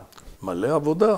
מלא עבודה. הייתי מזמין כל, בכל דבר כזה בין אלף לאלף מאתיים מילואים, כדי שאפשר לעבוד 24 שעות ביממה. הבסיס היה כברקחה, כי היית מזמין גם בעלי מקצוע שלא השתמשת בהם כבעלי מקצוע, אלא כסבלים. להעמיס פצצות, להוריד פצצות, כי זה המון עבודה, עבודה קשה מאוד. ותקלות בלי סוף היו. פה נפל למישהו זה, פה מלגזה דפקה משהו, פה... שלא נדע. אז זה נושא נוסף שעבדתי עליו הרבה מאוד וקשה מאוד במשך התקופה הזאת ברמת דוד, ובעיות טכניות.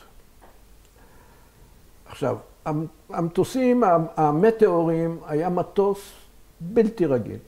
היינו מתבדחים, תן לו בעיטה והוא טס. לא צריך כמעט זה. הדבר המדהים היו המנועים. היו מנועי סילון רדיאליים, שתאי שרפה מסביב, וכשהיו מורידים מנוע לבדיקה שגרתית, היו מגלים שנניח מתוך שבעה אה, תאי שרפה, שלושה שרופים, הם לא עובדים בכלל, ואף אחד לא הרגיש בשום דבר. מדהים, מדהים, מטוס בלתי רגיל. המסתר היה גם מטוס יחסית קל לתחזוקה. מטוס צרפתי. אבוטור. אבוטור היה המטוס הכי כבד, הכי קשה, וזה מטוס שחלק גדול משערות השיבה שצמחו לי באותה תקופה היו במטוס הזה. מה גם שהחבר'ה היו עוברים את המגבלות של המטוס. אחד מהדברים שהייתי נקרא על ידי הקצין הטכני של הטייסת, היה אומר לי, תבוא, יש פה מטוס, הם עשו אה, הפצצות אה, שדות תעופה למשל, ויש לו קמטים על מייצב הכיוון. עברו מגבלות, בעיה. עברו מגבלות. עברו מגבלות, עברו 8G, 9G, אני יודע מה. ונזילות דלק נוראות. בקיצור, מטוס מאוד מאוד בעייתי. אה, דוגמה ל... ל... לחוסר משמעת, מבצעית אני מתכוון. היה מטוס צילום, לא מטוס שמיועד להפצצה, היה מטוס צילום. ובאיזשהו שלב מפקד הטייסת החליט לשים עליו פצצות, היו עושים פצצות בטון, אתה יודע, שרק ל... והנה המטוס אה, בהסעה לקראת המראה, אה, קרתה לו תקנה. מה מסתבר? אני באתי לבדוק. עכשיו, יש במטוסים, אחת מהבעיות בהעמסה של דלק, של פצצות, או כל, או גם מטוסי נוסעים, אחת הבעיות שאתה צריך לשים אליהם לב, זה, זה מרכז הכובד. נכון.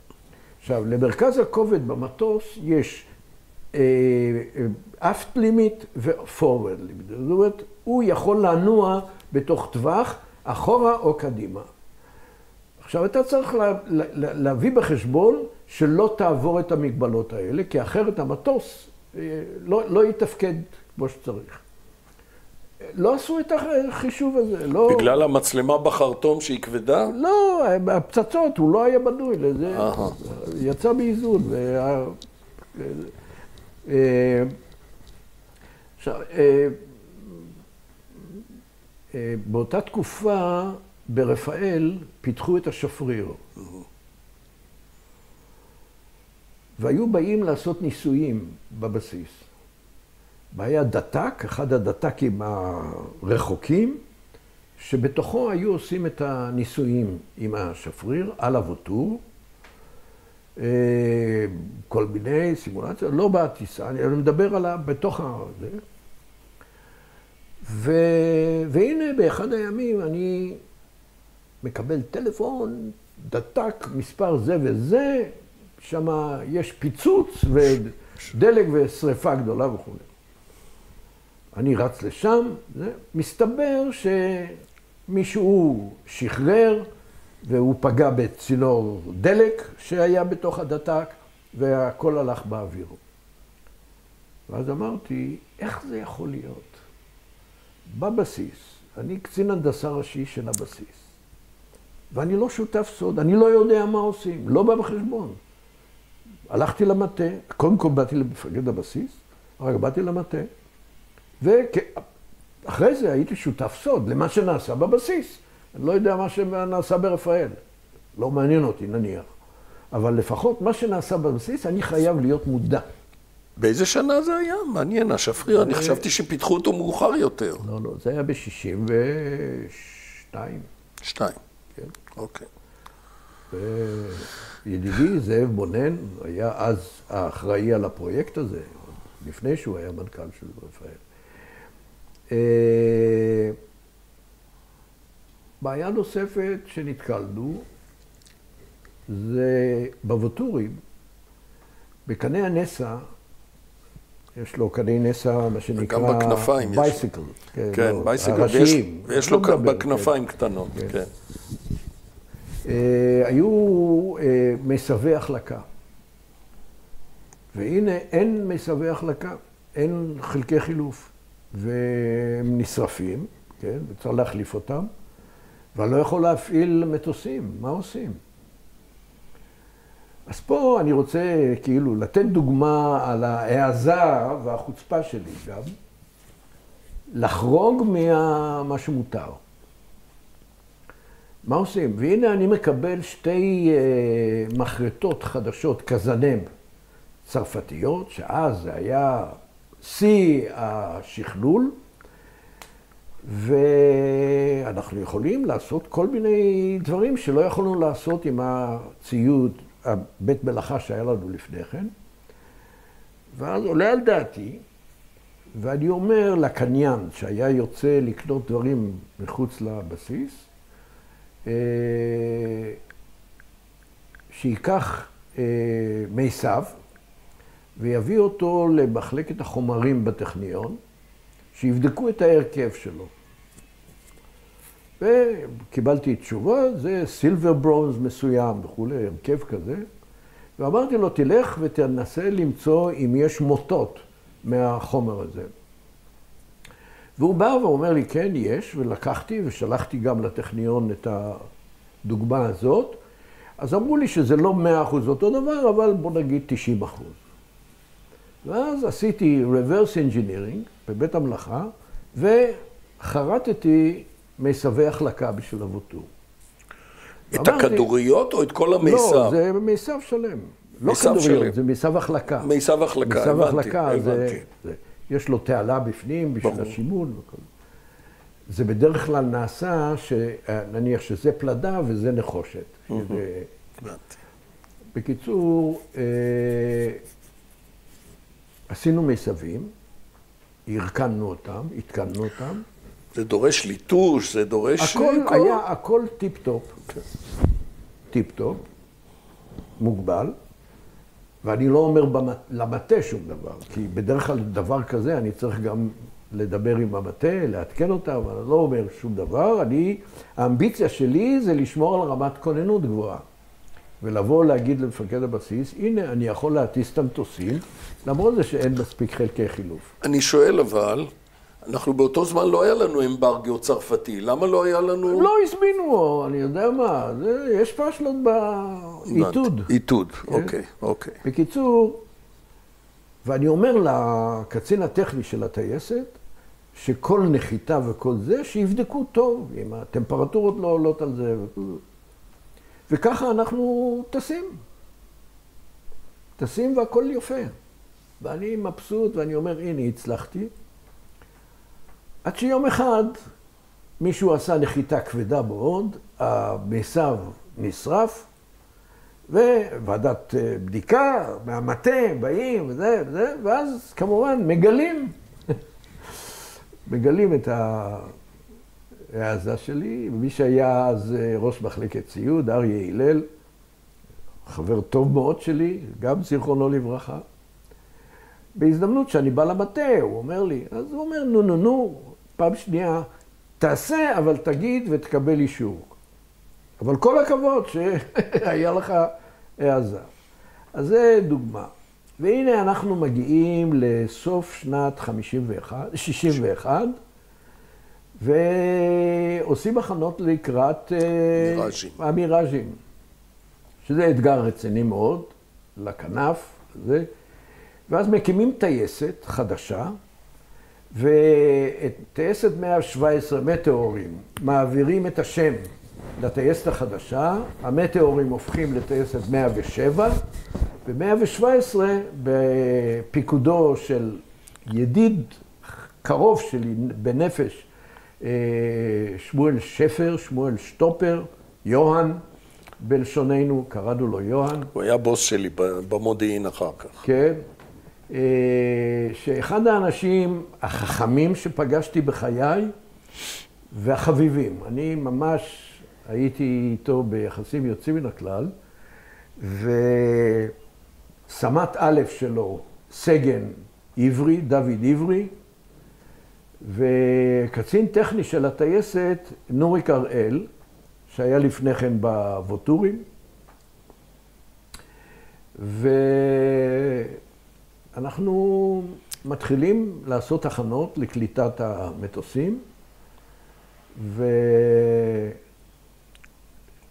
ומכינים צוות טכני של הטייסת, צוות טכני של דרג ב' של המוסך. הכל עושים בצרפת? כולם עוברים הכשרות בצרפת או שבארץ? הכל אנחנו מתארגנים עכשיו בארץ, לקראת היציאה לקורס של חודשיים בצרפת. אה, מי שהיה מפקד אה, טייס תחזוקה ברמת דוד, אה, בחצור, מצלצל יום אחד, הוא אומר, תשמע, אני חושב שגם אנחנו צריכים לנסוע לקורס הזה. בכל זאת, מפקד טייס תחזוקה, מטוסים חדשים, מיראז' נחשב ל... לא, אולי ידעו שמאה ואחד גם יקבלו אותו, אני יודע. כן, כן, הם קיבלו. הם קיבלו הם גם. הם קיבלו לפנינו. אה, לפניכם. כן. ו... וזה, אמרתי לו, תשמע, אני לא חשבתי על זה, אבל uh, אם, אם הרבצ"ד יסכים, אני בהחלט לא אתנגד. ואכן הרבצ"ד באמת uh, הסכים, והיה ברור שאנחנו ניסע לקורס הזה. Uh, ויצאנו למונה מרסן, זה בסיס גדול מאוד בדרום צרפת, של חיל האוויר הצרפתי, וידידי סימון, שהיה אז במשלחת, היה יחד, למטה, יחד איתנו, בתור איש קשר עם הצרפתים, כי הצרפתים... אני למדתי צרפתית אז. כמה יצאתם אנשים? אה, אני לא זוכר, לא שלושים מכל כנף, כן? מהטייסת ומדרג ב' ביחד, זה שלושים ועוד שלושים, היו קבוצה גדולה מאוד, קורס של חודשיים. ובאותו זמן גם הטייסים של שתי הטייסות טסו והתאמנו,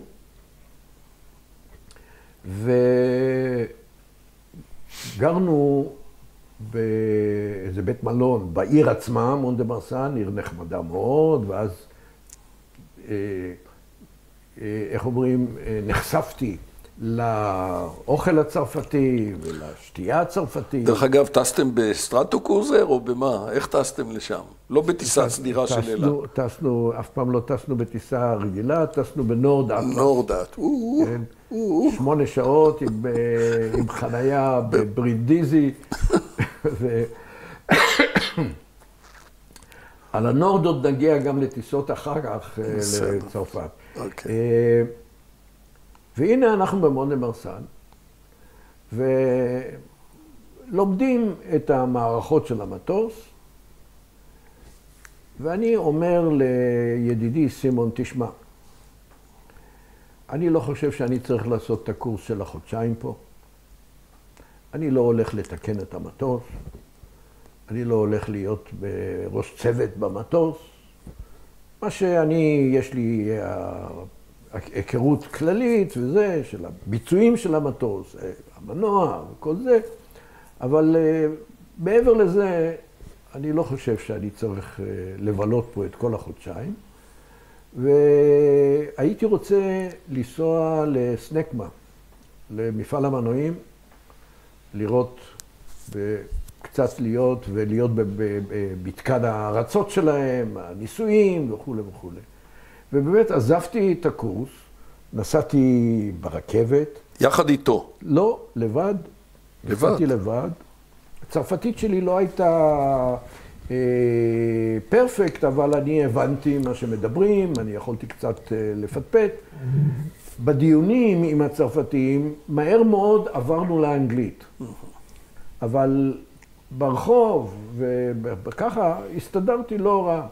עוד שהמבטא שלי היה כזה, שכשהייתי מדבר אל מישהו, אז זהו, לא מבין מה אתה אומר, כן? אבל איכשהו התגברנו על זה.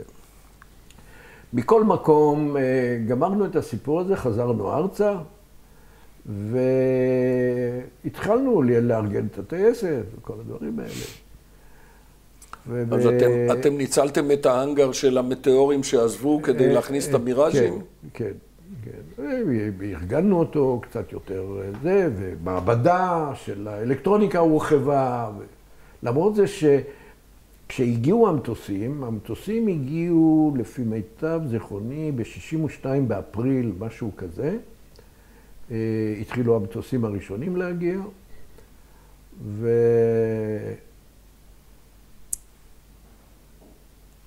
הם הגיעו בטיסה? הם הגיעו בטיסה. לא ישירה. הנה דוגמה, לא, הם נחתו בזה, לא, נדמה לי שהייתה נחיתה אחת בברינדיזי, או בברינדיזי או ברומא, לא, כבר לא זוכר. על כל פנים, אה, היו להם מכלים גדולים שאפשר היה לעשות אה, טווחים ארוכים. אה, על כל פנים, אחד מהדברים שהנה גם, שנתקלתי בהם, החבר'ה שהיו במונדה מרסן והיו מכינים את המטוסים להטסה ארצה, ניצלו את זה והיו דוחפים במטוסים כל מיני דברים. אני חשבתי שזה, איך להגיד, חמור, שזה לא אתי. זה ניצול ממש חמור מאוד בעיניי. באו אליי ושאלו אותי אם אני רוצה משהו. הטיסו את זה טייסים שלנו או צרפתים? טייסים שלנו. שלנו. וזה היה אחד מהדברים ש... על כל פנים, האמירה היה קפיצת מדרגה רצינית מבחינת הביצועים, בטח. מבחינת התחזוקה, היכרות, מערכת מאוד מתקדמת, עם אה, לא מעט בעיות. אה, אחד מהדברים אה, הבולטים ביותר, כשניהלו משא ומתן עם דסו ועם חיל האוויר הצרפתי על המטוס, המטוס היה מתוכנן לשאת טילים אוויר-אוויר ובלי תותחים. וחיל האוויר התעקש שצריך תותחים, כי יש הרבה מצבים שבהם אתה לא מצליח עם הטילים ואתה יכול לדפוק את מטוסי האויב עם תותחים. ומה עם נקודות נסיעה לפצצות? זה, זה, הוא, כי הוא היה במקור מתוכנן להיות מיירט כן, בלבד. כן, היה, היו לו. היו לו, כן. היו לו נקודות נסיעה גם כן, לפצצות כן, מתוכננות כן. מלכתחילה לא, גם? לא, או, אנחנו, זהו, אני זה שואל. גם, זה, זה גם, שינוי. כן. כן. עכשיו, אז מה ששכנענו את הצרפתים להתקין תותחים, אבל המטוס כבר גמור, אז עשו מין אה, אה, פתרון כלאיים, אני אומר, והכניסו מה שנקרא גנפק, מארז תותחים. זאת אומרת, יחידה, כאילו חתכו בגוף, בחלק התחתון, הקדמי, חתכו, כן, מין חתיכה, עשו מין אה, כזה מפרץ, שלתוכו הכניסו אה, יחידה שבה היו שני התותחים. אבל זה שינה את האיזון במטוס. אה, טיפלו בנושא הזה, אבל הבעיה העיקרית הייתה ש... היה קשה מאוד לאפס את, ה, את ה, זה, כי הם לא היו חלק אינטגרלי של הגוף. זה היה כאילו יחידה נוספת. אז באיפוס היו בעיות. כמה שלא היית מאפס, זה לא היה מאה אחוז. והיו הרבה תלונות של הטייסים בגלל זה, מבחינת יכולת הכלייה. דבר נוסף, מספר הפגזים היה יחסית קטן, היה 120. וזה לא הרבה, כן? אה, מה זה, 30 מילימטר היה? 30 מילימטר דפע, ו... אה, דבר נוסף, אה, הייתה הבעיה שהגזים של ה... שהיו נוצרים מהתותחים היו נכנסים לתוך כונסי האוויר של המנועים והיו גורמים לכיבוי מנוע. ותקלה חמורה מאוד, ש... איך התגברו על זה? אחר כך התגברו על זה אה, בכל מיני צורות. אחד מהצורה זה לעשות רפלקטורים, כדי שהגזים... אה, להסיט אותם, כן, להסיט, להסיט את הגז. אותם. על כל פנים, אה, בפרויקט, שאחר כך הייתי יותר מאוחר, אחד הנושאים הראשונים שטיפלתי בהם זה העניין הזה של המארז תותחים, לבטל אותו ולעשות תותחים קבועים. זה היה הפרויקט הראשון שעשינו בשינוי של הנשר, מה שנקרא, או רעם אוקיי, א', okay. אבל זה אחר כך. אה, בעיה נוספת בניהול של הכנף, שאני רוצה לציין, זה ימי שישי.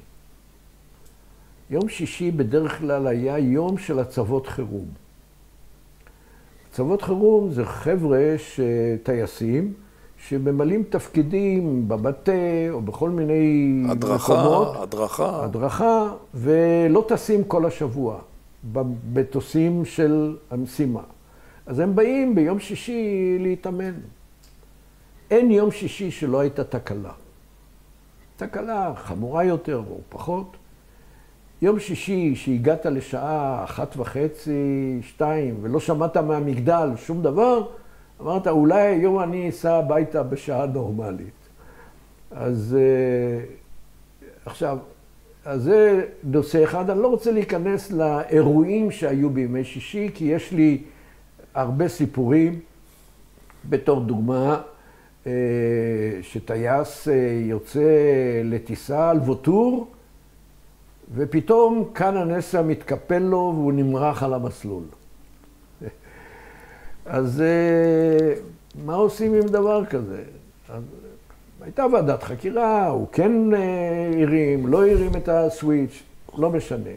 אתה צריך לטפל במטוס הזה. עכשיו, המטוס הזה מלא דלק, כן? כי הוא היה בהמראה.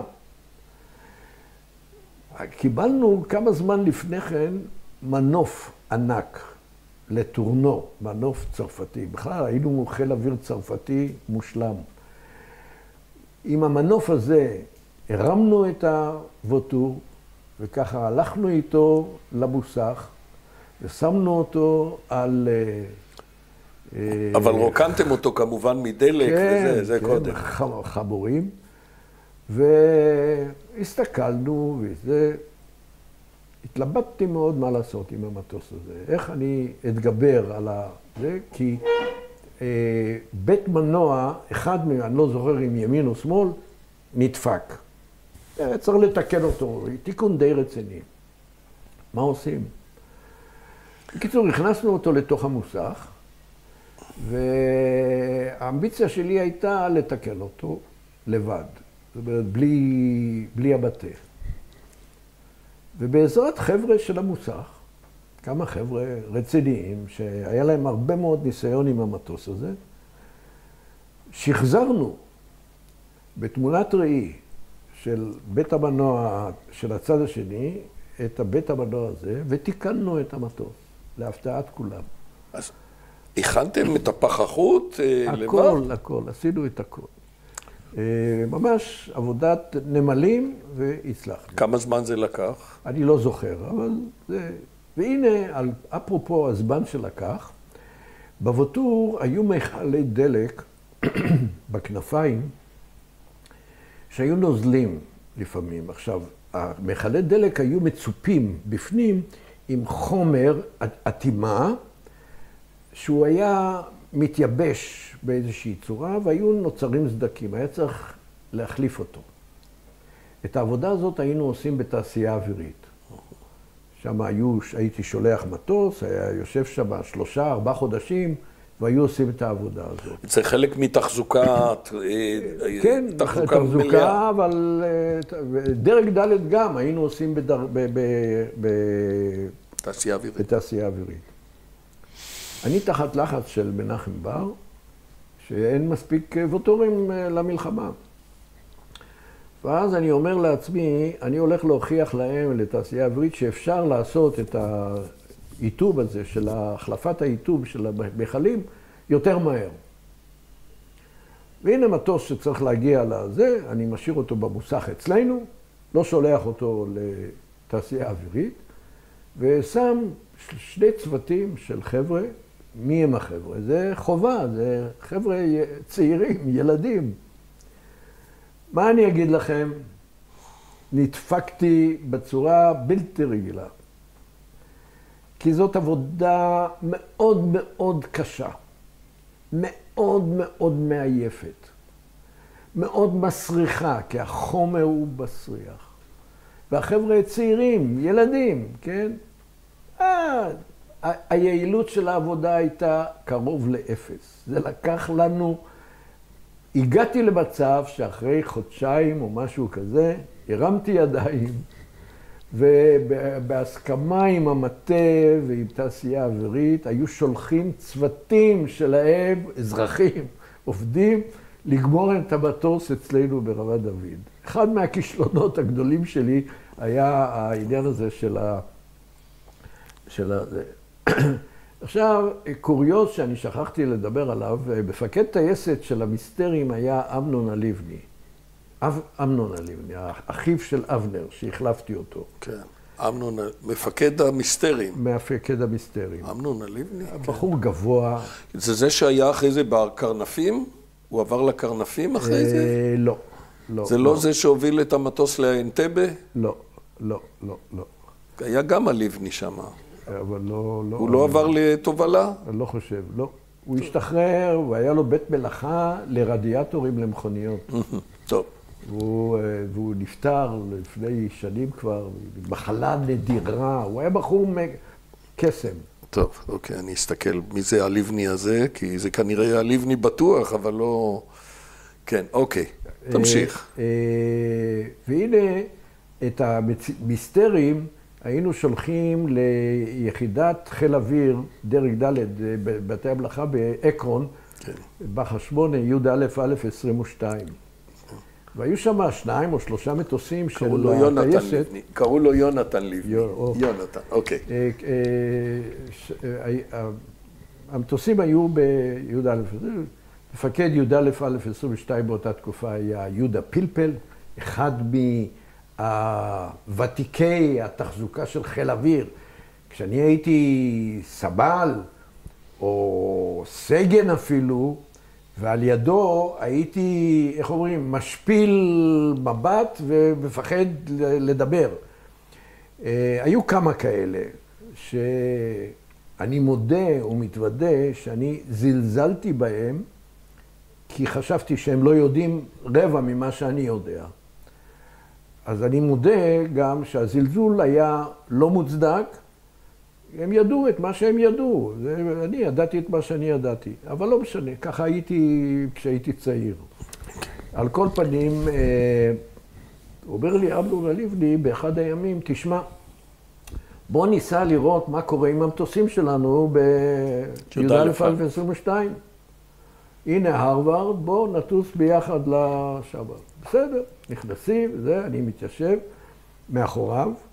ואנחנו טסים. אנחנו מגיעים מעל עין שמר, יש שם שדה תעופה ישן של הבריטים. הוא אומר לי, בוא, אני רוצה לראות איך אתה מתנהג בזה. בוא תעשה סיבובים. ונותן לי את הזה, ואני מסתובב, נותן קצת מנוע, זה. הוא אומר, הוא, אתה מאה אחוז בסדר, בוא נרד יותר למטה, יותר נמוך, ונראה מה שאתה עושה. זהו, ממשיכים. והוא אומר, עכשיו אתה מטיס את המטוס עד לעקרון. מגיעים לעקרון, הוא עושה נחיתה, הולכים לפלפל, יושבים, וזה וזה, גומרים את העניינים, חוזרים בחזרה למטוס, הוא אומר, תשב קדימה. אמרתי לו, השתגעת? הוא אומר, תשמע, אני ראיתי, אתה פשוט טייס שהלך לאיבוד. יכולת להיות טייס נהדר, יש לך תפיסה נהדרת. בקיצור, עשינו המראה, ועשינו נחיתה ברמת דוד, וזה היה כיף לא נורמלי. אה, אנחנו מגיעים לכך ש... 73, שנת 73. שנת 73, 63, סליחה. אוקיי, זהו. שנת 63. אה, אגב, אה, לפני כן, אני רוצה עוד משהו להשלים מהטכניון, פתאום נזכרתי. הרי אני עשיתי סמסטר תשיעי, הייתי בטייסת 117 במטאורים, והייתי נוסע לטכניון פעם בשבוע. שמעון אש, שהיה מפקד הטייסת, הסכים, כן, שאני פעם בשבוע יוצא יותר מוקדם, לא יום שלם. ואז נכנסת, ועשיתי, הסמינר, עבודת הסמינר שעשיתי, היא מאוד מעניינת. עשיתי עבודה על הסכמים קיבוציים. במסגרת מנהל ותעשייה, עשיתי עבודה על הסכמים קיבוציים. למה בחרתי בנושא הזה? תהרוג אותי, אני לא זוכר. בחיים לא התעסקתי בזה יותר, אבל עשיתי את העבודה הזאת, ותוך כדי זה פגשתי, כשהייתי בא לטכניון, פגשתי אה, ידיד טוב מאוד שלי לימים, גם בינתיים ז"ל, אה, שהיה בפקולטה לאווירונוטיקה. יוסקר רום. יוסף רום היה לימים אה, חבר כנסת מהליכוד. נכון, נכון. שאנחנו התיידדנו מאוד. הוא אומר לי, בוא, בוא לזה. אמרתי לו, טוב, אתה יודע מה? ואז הלכתי, מאחר ועוד הייתי, כשב... הכרתי, היה פרופסור אביר, והוא היה דיקן של הפקולטה, עד כמה שאני זוכר.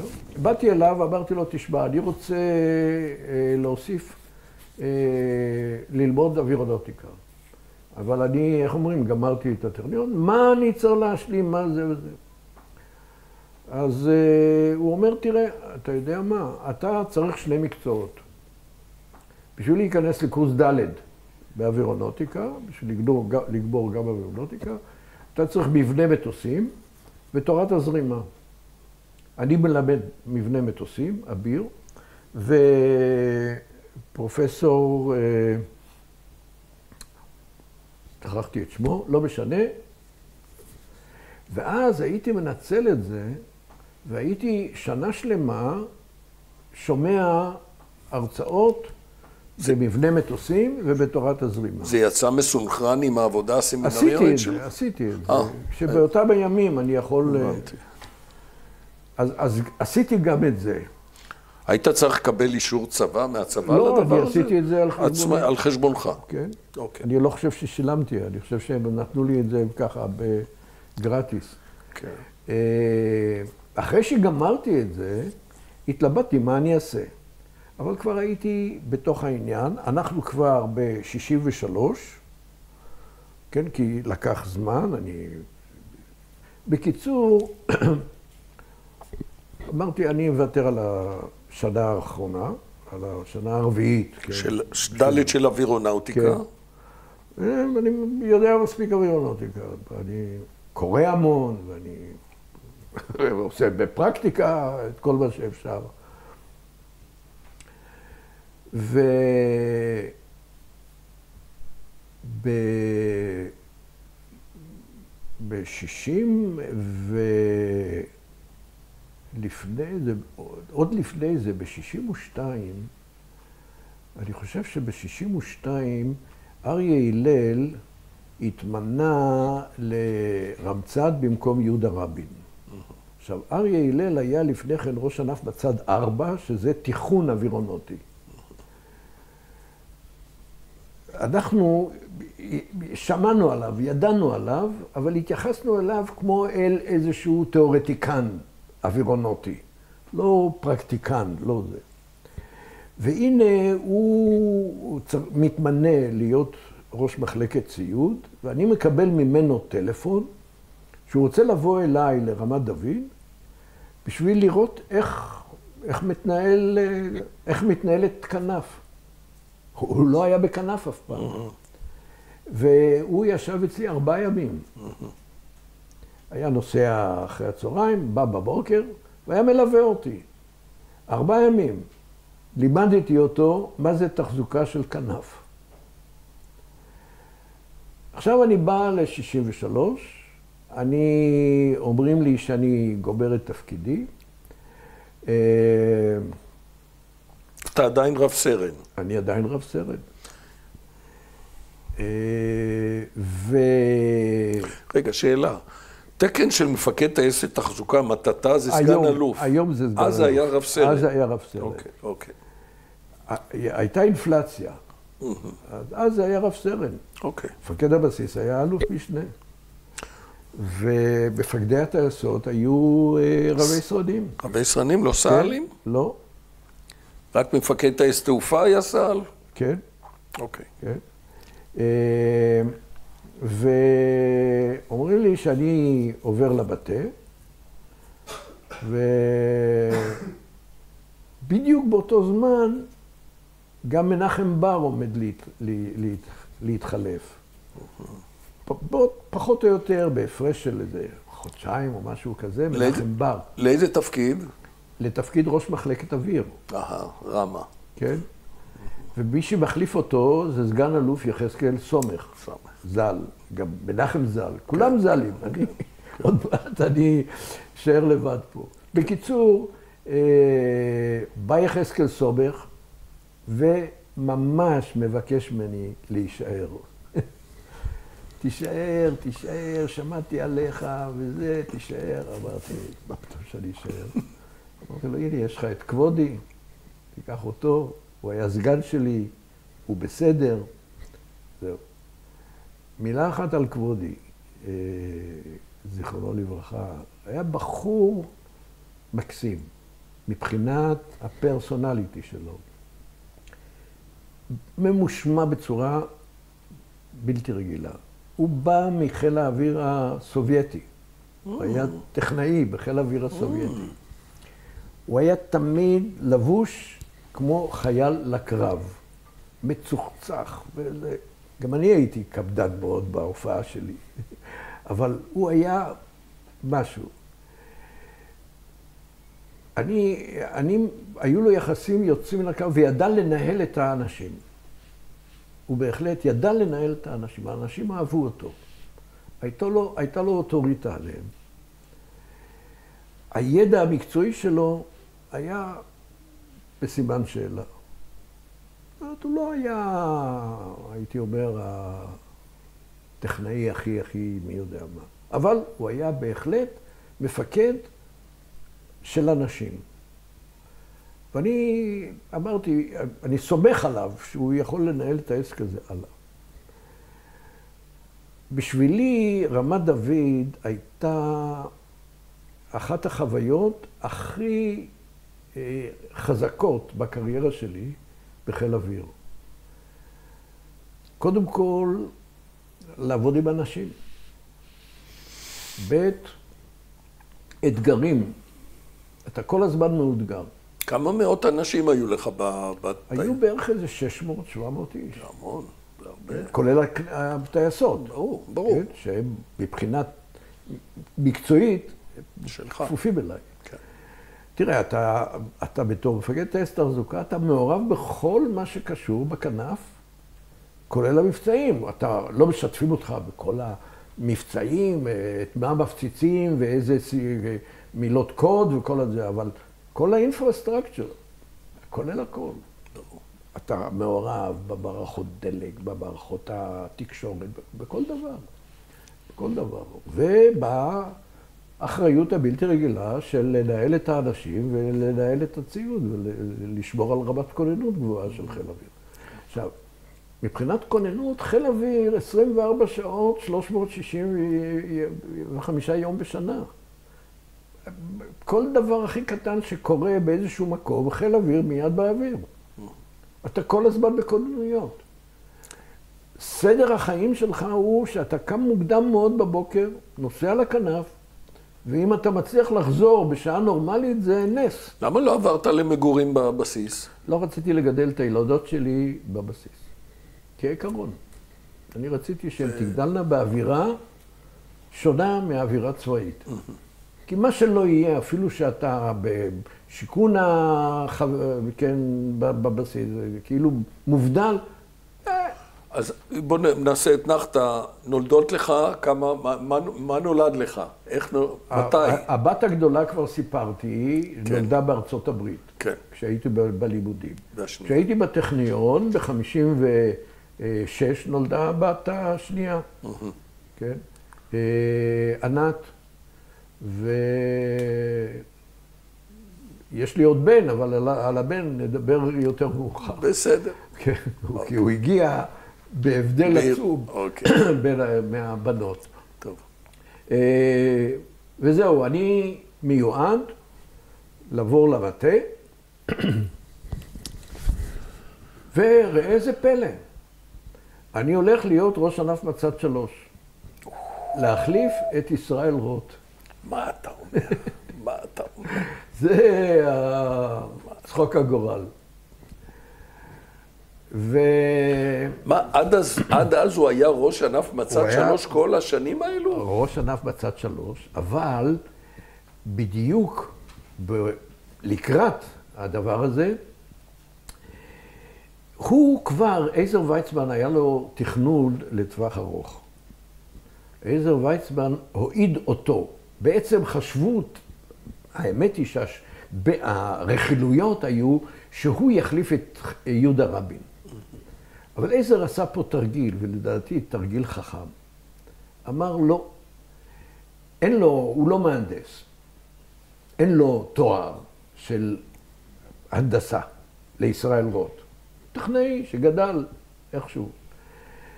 אה, יש לי פה את אה, אריה הלל, מהנדס, דוקטורט, דוקטור להנדסה.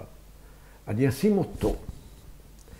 ואז אשלח את ישראל רוט לשנתיים לארצות הברית, ובארצות הברית יש הרבה קורסים שאפשר לקבל תואר של מהנדס בשנתיים. אז זה לא יהיה BSc, זה יהיה שמי-SC, מה זה חשוב? אבל יהיה לו תואר. ואז הוא יחזור, ואבנטשולי הוא יחליף את אה, אריה הלל. אז אני בא למטה, בצד שלוש, אין ישראל רוט, הוא נסע ללמוד בארצות הברית. אז לא הייתה ביניכם חפיפה בכלל? לא, אין צורך. בסדר. ואני בא, ואני במטה, בצד שלוש. עכשיו ככה, הסיטואציה היא כזאת, בבניינים הישנים שהיו, אז יש את הבניין בקומה שנייה, פה יושב הרמצד, ובקצה הזה יושב ראש ענף מצד שלוש, באותה קומה. אני מדגיש את זה כי זה חשוב להמשך של הסיפור אחר כך. כי ישראל רוט חזר אחרי שנתיים. אני שנתיים ראש ענף מצד שלוש. עכשיו, אני בא מצד שלוש, עכשיו, אני בא עם מנטליות של כנף. זאת אומרת, בשבילי, התחלת עבודה בשבע וחצי וגמר בארבע, זה לא, זה לא, זה לא בעולם המושגים שלי. ואז אני בא ל, ל, לענף, שהחבר'ה, אני רואה, הם באים, באים, אומנם באים בשבע וחצי, ובארבע אין לי מי לדבר. וכמובן שאני גם פה התחלתי אה, להשליט את, ה, את תפיסת העולם שלי בניהול, בצבא. דרך אגב, אחד מהדברים שהייתי מדגיש לחיילים וגם לנגדים ברמת דוד בזמנו, הייתי אומר להם, רבותיי, אתם קודם כל חיילים. קודם כל אתם חיילים, זה לא מקום עבודה. אתם לא מדפיסים פה אה, כרטיס נוכחות. פה זה 24 שעות. אם אתם מצליחים ללכת הביתה בזמן, זה בונוס. אתם קודם כל חיילים, 24 שעות ביממה, זה הכל. ככה זה מתחיל. וכל השאר נובע מזה. אותו דבר פה, אני בא, אני אומר לראש אה, מדור מסוים לעשות משהו, ואני אחרי יום, יומיים, שלושה, אני שואל איפה זה, לא, לא הספקתי, אמרתי לו, אתה נשאר פה עד שאתה תגמור. מה זאת אומרת אני נשאר פה? אמרתי לו, אתה לא הולך הביתה עד שאתה לא גומר. זה לא היה קל בהתחלה, מפני שאנשים אמרו, מה, הוא מטורף? מה זה אני לא הולך הביתה לפני שאני... מה זה? מה, אתה יכול להשאיר אותי פה בכוח? אמרתי, אני לא יכול להשאיר אותך. אם אתה לא גומר את העבודה, היום אתה תעוף מפה. אז זה היה המפגש הראשון שלי עם כל מיני בעיות פנימיות. דבר נוסף, אני ראיתי שהמבנה הארגוני שאני בניתי ברמת דוד, הוא המבנה הנכון, שצריך להכתיב אותו לכל הכנפות האחרים בחיל אוויר.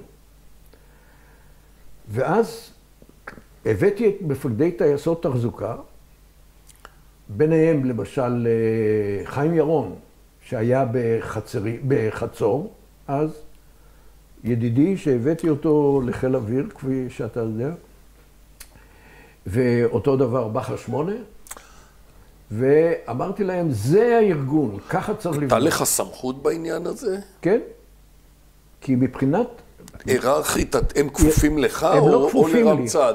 הם, הם לא כפופים גם לא לרמצד, הם כפופים למפקד הבסיס. כן, אבל מקצועית, אני מקצועית, אומר מקצועית. מקצועית, אני המתאם שלהם. אתה המתאם שלהם. כי אני הייתי, ראש ענף בצד שלוש היה אחראי על התחזוקה של חיל אוויר. ברור. עכשיו, אם, אם פורמלית אמרו לי את זה, או לא פורמלית, אבל ככה זו הייתה העובדה. ואני הכתבתי באמת את, את המבנה הארגוני הזה. אה, דרך אגב, עוד דבר שאני רוצה כאן להזכיר.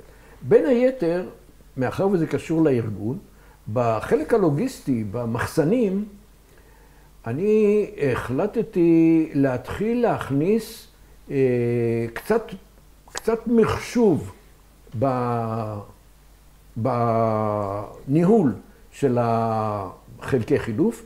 ואז היו איזה מין תוויות פלסטיק, כל מיני, אני לא, כבר לא זוכר אפילו מה, איזה מה, דברים. מה, עם כרטיסים מגנטיים, כרטיסים אה, מנוקבים? כרטיסים מנוקבים היה, כן, ב... אה, אה, והנה גם פה נתקלתי באי רצון של ישראל רוט, שהיה ראש ענף הצלצלו, שהיה לי מעט מאוד קשר איתו. מעט מאוד קשר. לא זוכר בכלל שהייתי אולי אי פעם בדיון אצלו באיזשהו נושא. באיזה תפקיד אמרת? כשהוא חזר מהקורס לא, בארצות הברית? לא, זה עוד לפני שהוא הלך. אה, עוד לפני שהוא הלך, אוקיי. כן. עכשיו, אז אה, עכשיו, באשר, הדבר, אחד מהדברים הכי חשובים שעשיתי במצד שלוש, אז קודם כל אני הייתי אחראי על גיבוש התקציב. תקציב של בצד. ואני עבדתי מול אה, ראש אגף תקציבים במחלקת אוויר. אז כל התקציבים של כל הענפים המקצועיים, של אה, קשר, של אה, מערכות נשק, של חימוש, של הכל היה, אני הייתי, ריכזתי את כל הפעילות הזאת. זאת אומרת, היה, היה לראש ענף מצד שלוש, היה מעמד בכיר לעומת כל הענפים האחרים, מבחינת ה... אה, אופי העבודה. אבל הדבר הכי חשוב שהחלטתי לעשות, אני באתי וראיתי שאני עומד בעצם מול אוויר שלוש, מבצעים. כי אוויר שלוש היה, מי שהיה באוויר שלוש, רפי הרלב, זיכרונו לברכה, היה מרים אליי טלפון. והיה אומר, תשמע, אנחנו צריכים דלק פה בחרטל נבי. זהו. ואז אמרתי, רגע אחד, או אני צריך אה, מטוסים בשביל זה וזה. אמרתי לו, והוא היה שואל אותי, או שהוא היה מצלצל לכנף. אמרתי, לא יכול להיות שלי, כאחראי על כל התחזוקה, לא תהיה אותה תמונה שהייתה לי בכנף, על מה שקורה בכנף, למה שלא יהיה לי פה על תמונה של מה שיש בחיל אוויר? אז נכון שבמחלקת אוויר, בבור, יש את התמונה, אבל התמונה שיש להם היא לא התמונה שאני צריך. אני צריך את התמונה ברמה היותר נמוכה. כמה מטוסים יש בהאנגר, כמה מטוסים יש בזה, כמה מטוסים יש בדרג ד', כמה... מה, מה המדרוג שלהם, מתי הם יוצאים, על מה אני יכול לתכנן. אז זה התחלה של יש"ם תחזוקה? כן. זה ההתחלה של ישם תחזוקה? כן, בדיוק. כי אני יודע שהוא הוקם אחרי, מלח... אחרי מלחמת יום הכיפורים. לא, הוא קם לפני. לפני כבר? הרבה לפני. אוקיי. אני מדבר איתך על 63, 64. איך קראו לזה? ישם תחזוקה? לא, מרכז תחזוקה. אה, מרכז תחזוקה. אז כן. לימים קראו לזה ישם תחזוקה. מרכז תחזוקה. אוקיי. אני הקמתי את זה. היה לך חלל שיכולת... היה, פיניתי שני חדרים, שמתי לוחות, אז לא היה מחשבים. ברור. הכל היה זה. עכשיו, כל תוכנית העבודה של דרג ד' הייתה אצלי. זאת אומרת, לא רק, והייתה, היה ויכוח גדול מאוד, כי היה י"א-22, היה תעשייה אווירית, היה עבודות אה, בתעשיות שונות, אז היה ענף שטיפל בייצור מקומי, מה שנקרא, והיה בחש, אה, במצע 108. האם במצע 108 גם מתואמת על ידי לגבי עבודות דרג ד' או לא? כי אלה ממצד 7 ומצד 8 זה קשר ומערכות נשק, מערכות uh, כינון חימוש. Uh, רצו כאילו שאני לא אהיה מעורב, אבל אני התערבתי. ואמרתי, לא, אנחנו נרכז את הכל, שיהיה, שרמצד, או מפקד חיל אוויר, או רמה, או uh, אוויר שלוש, יש להם, הם מקבלים תשובה מוסמכת רק ממקום אחד, שמרכז את כל הזה. אה, עכשיו... וזה היה מתנהל בדיווחים טלפוניים, או שמברקים, או מה? מברקים, טלפאי, טלפ, טלקס, מה. שהיה אז וכולי וכולי. והנה, בשביל לעשות את התוכנית, אה, לבנות את התוכניות ולבנות את התקציב, אני אומר, רק רגע אחד, יש עכשיו, הקימו את אה, יחידה 180. יש שם מחשב, IBM גדול וכל זה. אז קודם כל, קראתי לבחור שהיה מטעם IBM, אה, טכנאי, בחור יוצא מן הכלל, אה, איך אני, תכף אני אזכר בשמו, הוא הקים את אה, שחל. שחל, כן. אוקיי. הבחור הזה הקים את שחל. מולטי מולטי מולטי מיליונר. אה, קראתי לו, עשינו קורס של שבוע ימים ב-IBM ברמת גן. אני ועוד אה, כמה ראשי מדורים שלי, בשביל ללמוד איך עובדים, וזה עם כרטיסים מנוקבים. ושמתי את תוכנית העבודה של חיל אוויר, שלנו, וגם אה, אוויר, מחלקת אוויר התחילו לעבוד על זה, על לשים את הכל על המחשב. אה, אנחנו מגיעים ל... אתם כבר קניתם מחשב או שנעזרתם לא, ב-180? לא, ב-180. 180, 180. עכשיו, הנה, עברו שנתיים. חזר אדון ישראל רוט, הוא מתמנה, עולה בדרגה לאלוף משנה, ומתמנה לסגן רמצ"ד. סגן רמצ"ד. כן. המציאו תפקיד חדש. לא היה לפני כן. סרמצ"ד. עכשיו, שמים אותו, כפי שתיארתי לך, את הקומה, אז יש את הקומה, פה אני יושב, פה רמצ"ד, ושמו אותו פה.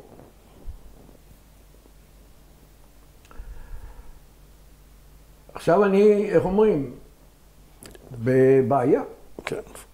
אתה משרתם של שני האדונים? לא, לא. אז עכשיו השאלה, האם אני, האם יש לו סמכויות פיקודיות עליי?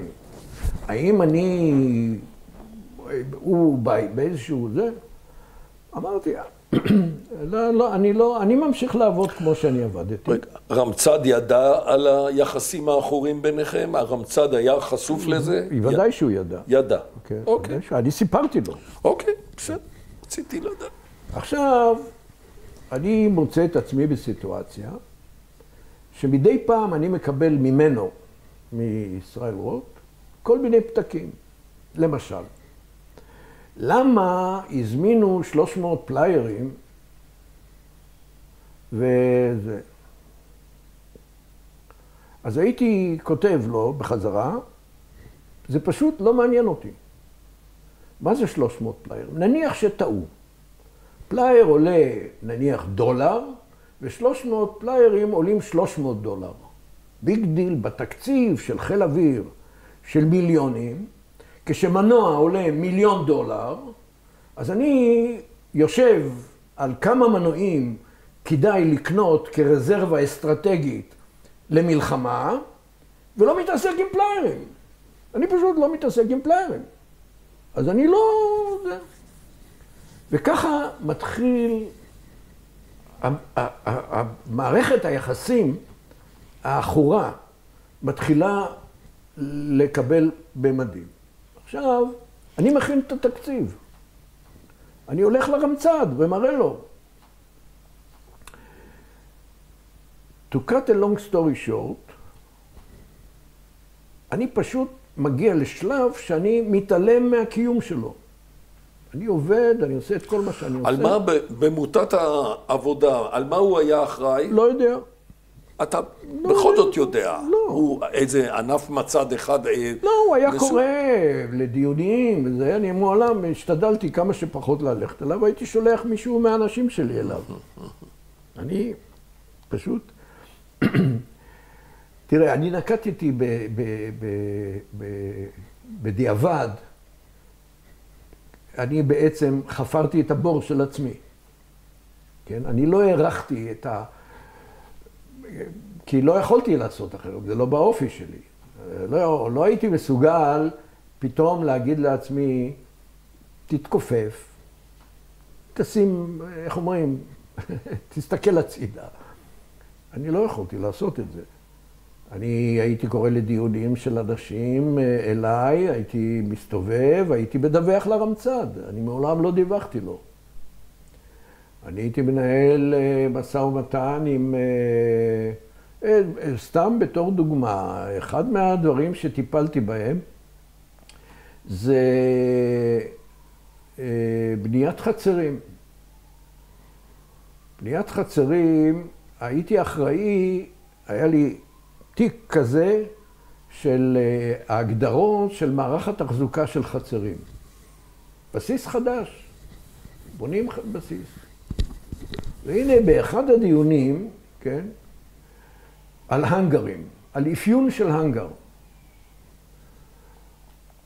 אומר ישראל רוט שבהנגר לא צריך אה, שירותים, בתור דוגמה.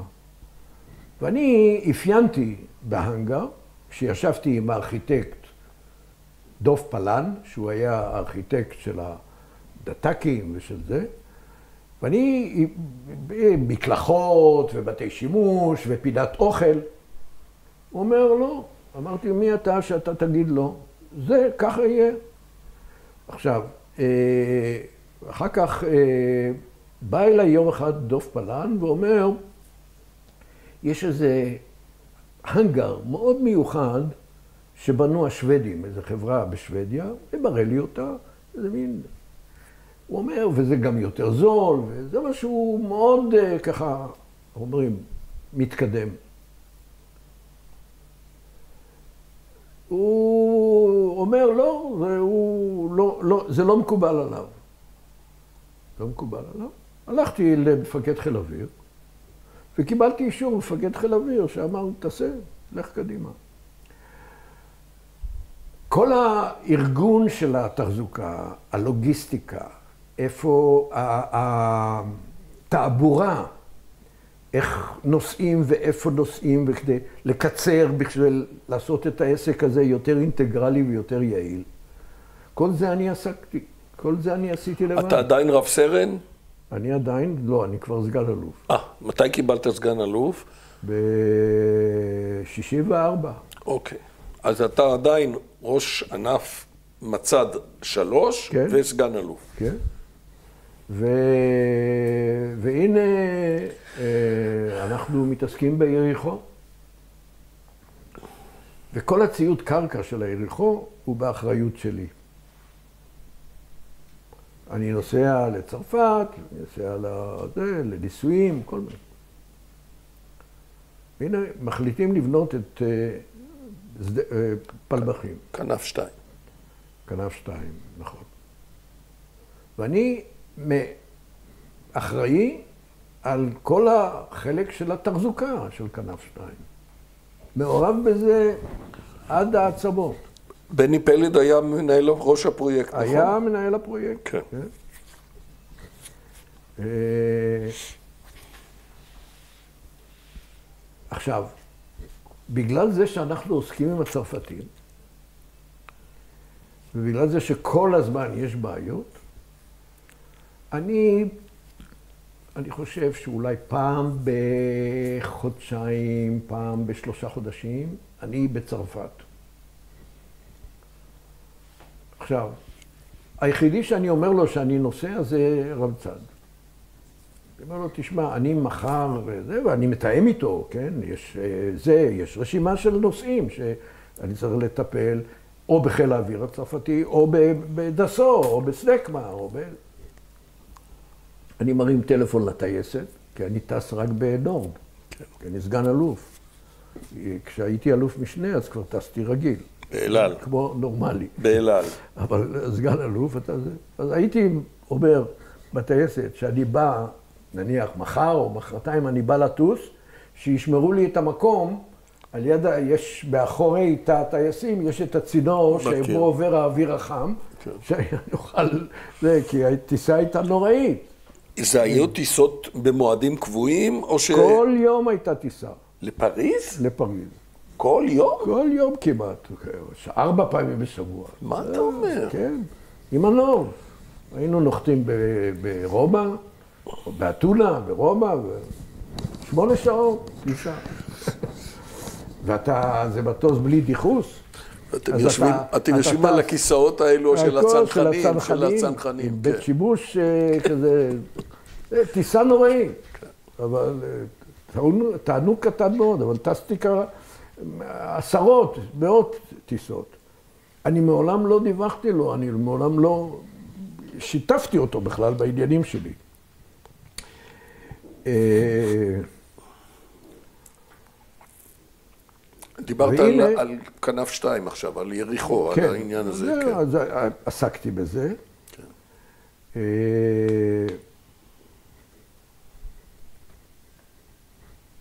והנה אה, עוד איזה קוריוז, אני לא קוריוז, באחד הימים אה, עבדתי בשיתוף פעולה יוצא מן הכלל עם אוויר שלוש, עם רפי הרלב. כשבנינו את המרכז תחזוקה, הוא היה מאושר. הוא היה יכול באמת לקבל תמונה מדויקת על איפה אנחנו עומדים ואיפה מצב הציוד והמטוסים והכול. אה, באחד הימים אני שומע, אני מקבל ממנו בקשה שהם רוצים לחזק את הסופר פרלון כדי לאיזה מבצע שיוכל לשאת מטען יותר גדול. אז נסעתי אישית לי"א א' 22, המפקד של אז, של י"א היה חבר טוב שלי, בני לפידות, שגם ז"ל, ו... אמרתי לו, תן לי איזה מהנדס, אה, שנוכל ביחד לגשת ולראות ולבחון מה זה. הוא נותן לי סגן, מיכה כהן. ואני אומר לה, אחרי עשינו, והוא עשה את התכנון, ואישרנו אותו והכל. ואמרתי, מיכה כהן זה בחור שצריך למשוך למעלה. ו...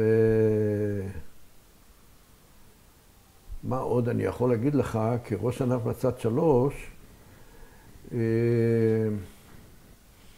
אה... מה יכולת לעשות בעניין הזה? מה יכולתי? בלמשוך אותו, לבוא. לבוא אל... שיבוא לב... אליך לענף. לבוא, לא אליי, אבל לבצד ארבע, לתיכון אווירונוטי, מה שקרה באמת, והוא היה הרי אחר כך רמסה. בטח. אה, אז אה, מיכה כהן, דרך אגב, גם כשהוא היה רלצד, כשהוא היה פוגש אותי, הוא אומר, המפקד. הוא אומר, בשבילי אתה לעולם ועד תהיה המפקד. זהו, לא יעזור לך. אתה קורא לי המפקד? כן. אה, מה... אה, אה ב-60 ו... בסוף 64, אמרתי לעצמי, אני מתעסק הרבה מאוד בכסף. בתקציבים, בכל מיני, בחישובים, בכדאיות, כל זה. אני רוצה להגביר את הידע שלי בנושא הזה. ואז גיליתי שבשלוחה של אוניברסיטת אה, ירושלים בתל אביב, בבניין הלבנים, כן. האדום, כן. היה הבניין היחידי, לא היה עוד נכון, כלום נכון. מסביב, ושיש שני חבר'ה שחזרו מהדוקטורט שלהם, והם החליטו לעשות קורס בערב לאנשים שעובדים במנהל עסקים. וזה חיים בן שחר, שהוא מלמד אה, ניהול פיננסי, ויאיר אהרוני שמלמד הנהלת חשבונות. אמרתי, אני הולך ללמוד אצל שני החבר'ה האלה מנהל עסקים. ועשיתי שנה, לא גמרתי, אבל לא חשוב, זה היה, מה שעשיתי זה היה מספיק, עשיתי שנה, זה בהחלט עזר לי ל, ל, ל, לעבודה שלי. אה, מצד שלוש, והנה אנחנו מגיעים לערב מלחמת... אה, מה שקורה זה ב-66, באוקטובר 66, או לפני כן, לפני כן, לפני אוקטובר 66, בסוף 64, בדצמבר או משהו כזה, או בינואר 65, אומר לי אריה הלל, שהוא רוצה שאני אסע, שאני אהיה אחראי על קליטת אה, סוללות ההוק שרכשו, חמש סוללות שרכשו, שאני אהיה אחראי על כל המבצע של הבאת הסוללות לארץ והארגון שלהם פה. באותו זמן היה צוות של חיל אוויר בראשותו של אה, אריה, אריה, לא זוכר את שם המשפחה שלו, שהיו, אה, למדו, כן, בארצות הברית, ובפברואר 65' לקחתי איתי את אה, אז רב סרן מיכאל נעמן, שהיה ראש אה, בענף של אה, מערכות כינון וחימוש, שזה היה צריך להיות תחת האחריות המקצועית שלהם, הסוללות, כל האלקטרוניקה, ונסענו לסי... לארצות הברית בשביל לארגן את הנושא הזה.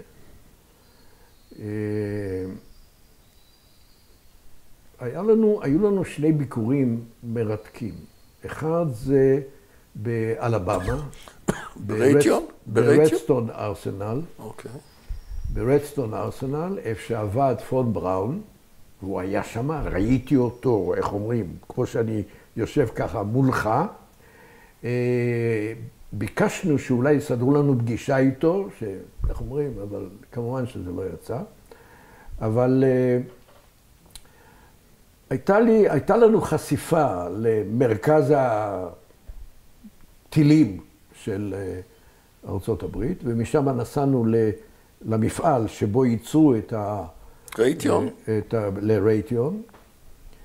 ואחר כך אה, נפגשנו בניו יורק עם ראש המשלחת של משרד הביטחון באותה תקופה היה יעקב שפירא, שפיק. שאני לא אשכח שהוא קיבל אותנו במשרד עם הרגליים על השולחן, כמו אמריקאי, ואני אמרתי, איזה מין, איזה מין אה, התנהגות זאת, כן? ועם אנשי אה, אל ים, אה, חברת אוניות, צובר של הרקנטים, של... והם הביאו את זה. והנה אנחנו מביאים והגיעו הסוללות לנמל חיפה, ויש כוננות עם הסורים, ועוד לפני שהאונייה נכנסה לנמל, כבר קיבלתי הנחיה, היו חמישה אה, אה, מקומות, חמש... אתרי פריסה. חמישה אתרים.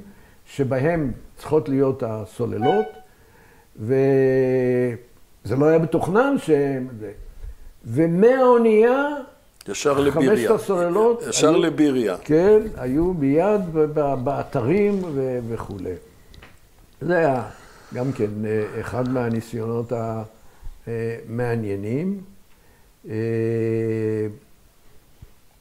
בין היתר, אה, אני מנסה להיזכר למה נסעתי לאנגליה. אה, אני חושב שהיינו במשא ומתן עם איזושהי חברה אנגלית על איזשהו רכש של איזושהי מערכת, כבר לא זוכר, על כל פנים הייתה טיסה, אה, לקחו צוות של אה, שייטת 13 לאימונים באנגליה במגדל הצלילה, מגדל שמתאמנים בו אה, איך להיחלץ ממצוקות וכל מיני דברים כאלה, מה שהיום כבר עושים בארץ, אבל אני חושב. אה, על כל פנים טסנו בסטרטו קרוזר ונחתנו במלטה, פעם ראשונה, הייתה חוויה מאוד מעניינת. והפרויקט המעניין שאני הייתי שותף לו, זה היה אה, אוגנדה. באחד הימים אני מקבל, אה, אומר לי אריה הלל, תשמע, אנחנו הולכים להקים בית ספר לטיסה לאוגנדים בקמפלה, ומי שמנהל את המשא ומתן איתם זה אה, פופקו במשרד הביטחון, פופקו, ש... מכיר, מכיר. לא זוכר את כן. השם ארבל, ארבל, יו- ארבל, ארבל, ארבל. כן? שהוא... היה שכן שלי. כן, הוא מנהל את המשא ומתן, ואני אמרתי לו שאתה מטעם חיל אוויר תהיה האחראי על כל הטרנזקציה הזאת. ובאתי לפופקו וישבנו, והנה מגיע אידי אמין, שהיה אז הרמטכ"ל שלהם, הוא היה פה בקורס אה, צניחה או משהו כזה, או שהוא צנח. קיבל כנפיים בלי צניחה. בלי צניחה, כן? ו... ואז התחלתי לטוס לקמפלה. זאת הייתה חוויה בפני עצמה. היינו טסים או עם סטרטו או עם דקוטה. הטיסה עם הסטרטו הייתה עוד חצי צרה. הטיסה עם הדקוטה הייתה קטסטרופה. היינו טסים, המטוס טס מאוד, למע... מאוד נמ... אה, לאט, יש לו זמן, והיינו נוחתים בג'יבוטי.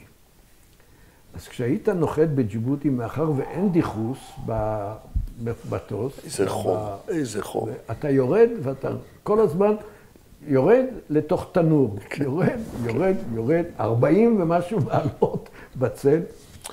אתם טסתם דרך הים האדום, אני מבין, או דרך הים- איראן. לא, לאורך הים כמו האדום. שאל על, אל על היו טסים לא, באיגוף. לאורך הים האדום, עד לג'יבוטי. מג'יבוטי היינו מתרוממים לאדיס אבבה, והיינו נוחתים באדיס אבבה, ואחר כך לקמפלה.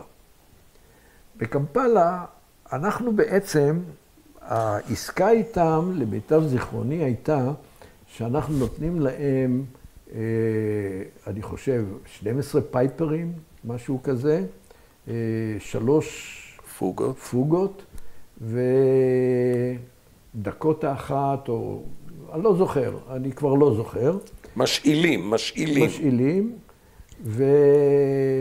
ומי שהיה מטעם חיל אוויר האחראי על הבית ספר, כי בית ספר היה אה, אה, מתי כספית, טייס, כן, כן. בחור נחמד, שיותר מאוחר בפינוי של טהרן אה, נפגשתי איתו, זה, נגיע לזה יותר מאוחר.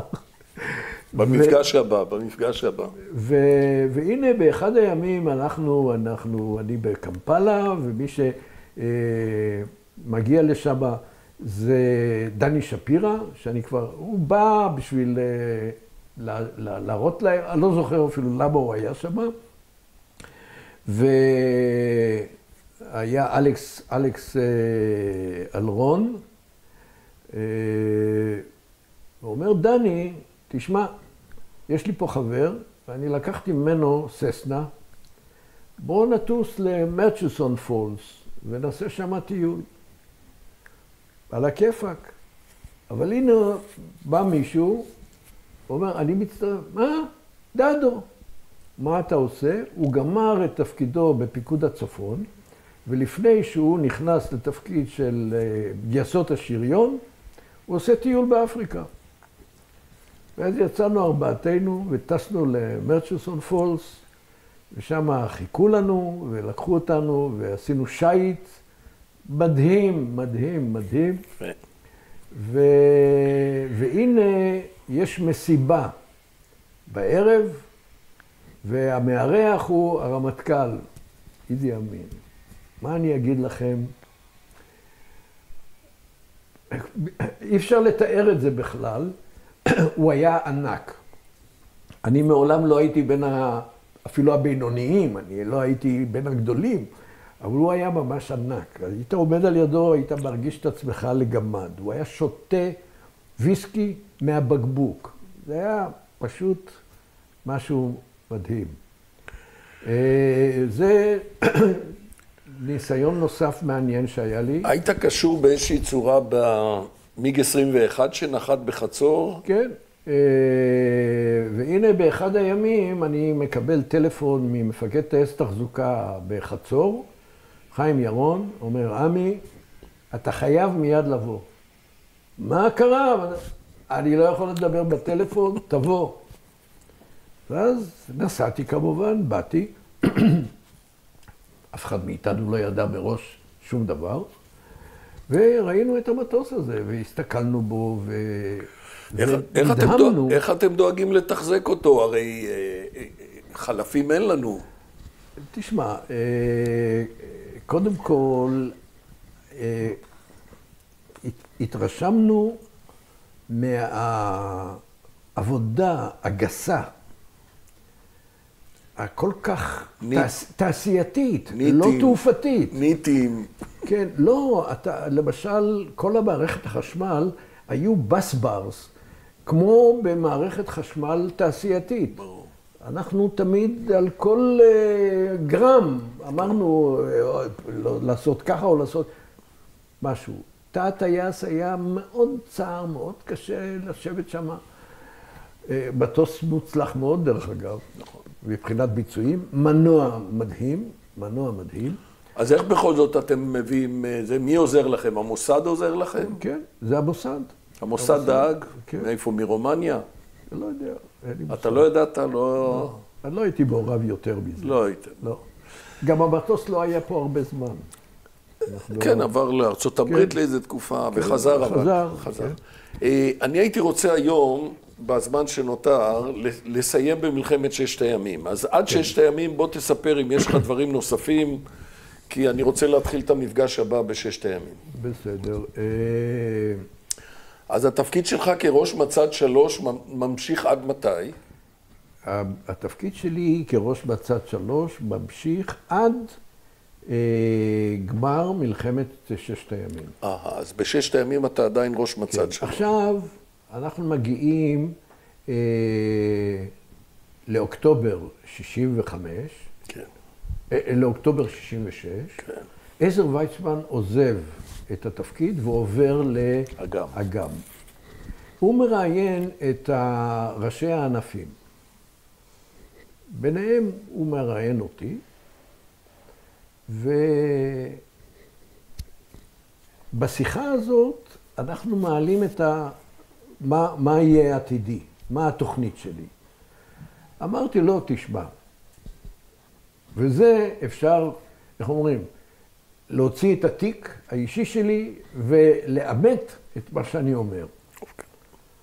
אני אומר לו, תראה, מה שהייתי רוצה זה לגמור את התפקיד במצד שלוש, ולנסוע לשנתיים לקולומביה יוניברסיטי, לעשות תואר שני, ואחרי זה לחזור ולהחליף את ישראל רוט. כי כבר היה אז ידוע שישראל רוט הולך להיות המחליף של אריה הלל. אומר לי עזר, אתה יודע מה? מקובל עליי. וכותב את זה. זה מופיע כתוב. בסיכום, סיכום כותב פ"א. בסיכום. פ"א. ועזר עוזב. אני נשאר, ולמזלי אני נשאר. כי אחרת לא הייתי עושה את המלחמה, שזה היה בשבילי גולת כותרת של הקריירה אז. והנה אנחנו מגיעים לפברואר 67. 67, אריה הלל עוזב, וישראל רוט רמצד. אז עכשיו אני, פה הרמצד, ישראל רוט, ופה אני.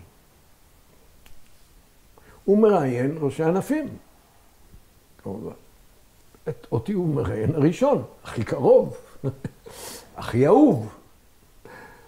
בקיצור, אומר לי אדוני, בקומה הזאת אין מקום לשנינו.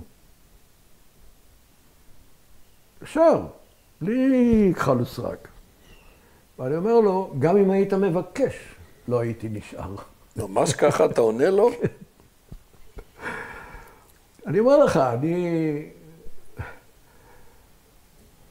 לא יכולתי אחרת באופי שלי לתת לו איזושהי הרגשה שהוא מצליח להכניע אותי, כאילו. זו הייתה טעות. אוקיי, מה עושים? אני הולך למפקד חיל אוויר, מוטי עוד. מוטי הוד. ואני מספר לו. אומר לי מוטי הוד, תשמע, הסיכום שלך עם עזר לא מתאים לי. אנחנו עומדים לקבל פנטומים וסקיוקים, ואני צריך אותך פה. וחוץ מזה, כבר ידעו על פנטומים כל כך מוקדם? כן. סקיוקים אני יודע, אבל לא פנטומים. כן, אולי הוא לא, לא משנה. לא, משנה, כן. הוא אומר לי, חוץ מזה, מה שאתה יודע היום מספיק טוב בשביל להיות רמצד. אה, מוכרח לעשות תואר שני.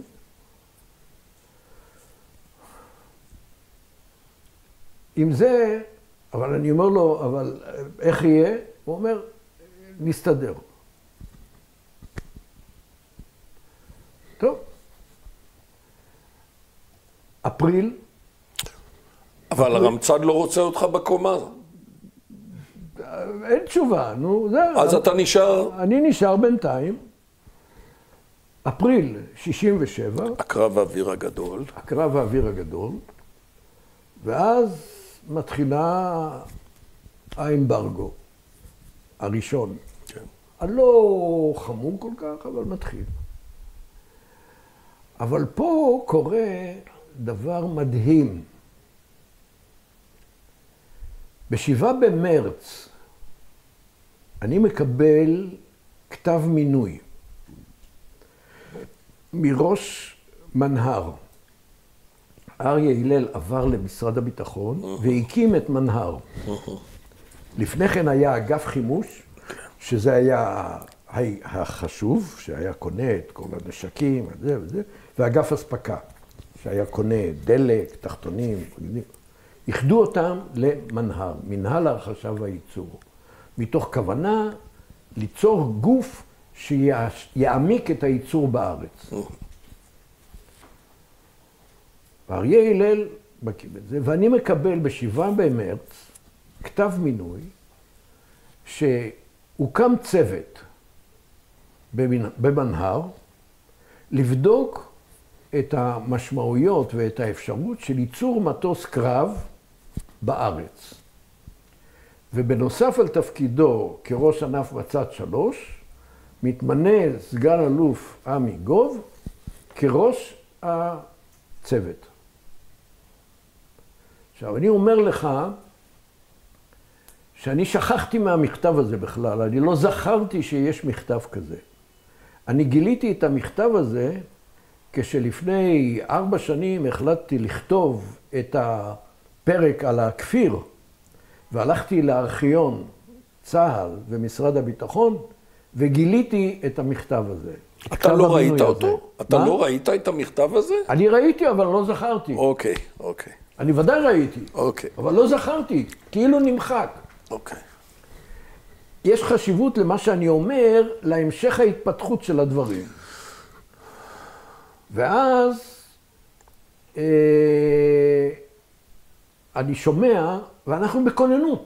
אנחנו... מי ב... עוד בצוות הזה, דרך אגב, של לא, הבדיקה? לא, לא, לא כתוב.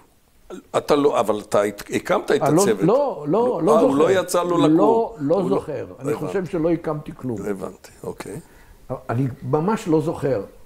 אבל אם אני לא זוכר, את המכתב אני לא זכרתי, כי כנראה לא קרה כלום. אבל הנה בינתיים יש התפתחות נוספת. אנחנו נכנסים לכוננות. אני, ראשי כל הזמן על הכוננות ברור. של מלחמת ששת הימים. זה התחיל באפריל. התחיל ב-15 במאי עם הכניסה של הצבא המצרי. לא, אבל עוד לפני כן אנחנו כבר חיל כבר, אוויר, כן, אנחנו היינו כבר כבר- בכוננות. נכון, היינו- אני כבר ישן במשרד כמעט. ו... והנה, אה, חיל אוויר, אה, אה, דסו, אה, מבקש אה, מחיל אוויר להסכים לקבל משלחת של דסו, להציג לנו פה מטוס חדש שהם מפתחים, ה-F1, מיראז' F1. כן? וגם את זה אני לא זכרתי עד שלא הגעתי לארכיון, שיש פתק, יש לי אותו, אם תרצה אני אראה לך אותו, יש פתק שכותב אריה הלל למוטי הוד,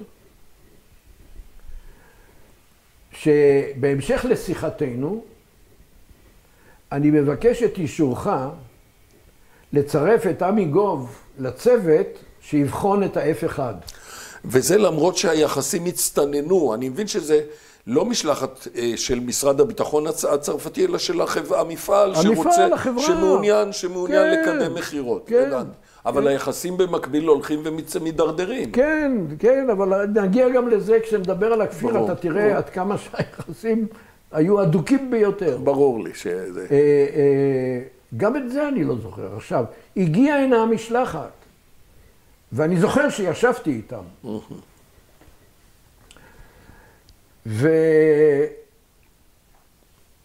ואנחנו באמת במאי, אחרי המשלחת הייתה פה באפריל,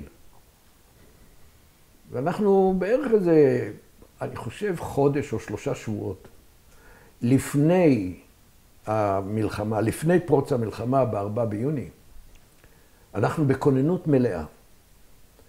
כוננות מלאה שהמשמעות שלה שאני יושן במשרד, אנחנו בתורנויות של 24 שעות כל הזמן, כדי, לה... מרכז התחזוקה, אנחנו... כדי להגדיל the את clock. השמישות למקסימום. כן, כדי להגדיל... ו... והנה, באחד הימים אני מחליט לקחת את הצוות של ראשי המדורים שלי לסיור בכמה בסיסים, ואנחנו טסים לחצרים, אני חושב, חצרים היו אז פוגות. כן, לא חשוב, אה, אני חושב שלחצרים, כי פוגות לא השתתפו, במוקד לא השתתפו. לא, אבל... אולי בחצור, בחצור. תל אנחנו נוף. טסים לחצור, טסים לחצור, ואני יושב על יד הטייס, אנחנו טסים עם דורנר, ואני יושב על יד הטייס, בחור צעיר, איזה סגן, והחבר'ה יושבים מאחור, ואנחנו באים לנחיתה, ויש רוח קצת חזקה מאוד, ואני מרגיש שהבחור, זה, ואנחנו מתנדדים, ואנחנו באים, אנחנו ככה, ואני צועק לו, תן רגל נגדית, בטח. כן? ואני רואה, הוא קפוא על, ה, על ההגאים, ואנחנו נוגעים על המסלול, והכנף יורדת, ואנחנו ככה מסתובבים, ואני אומר, יאללה, איזה מזל יש לנו, שלא...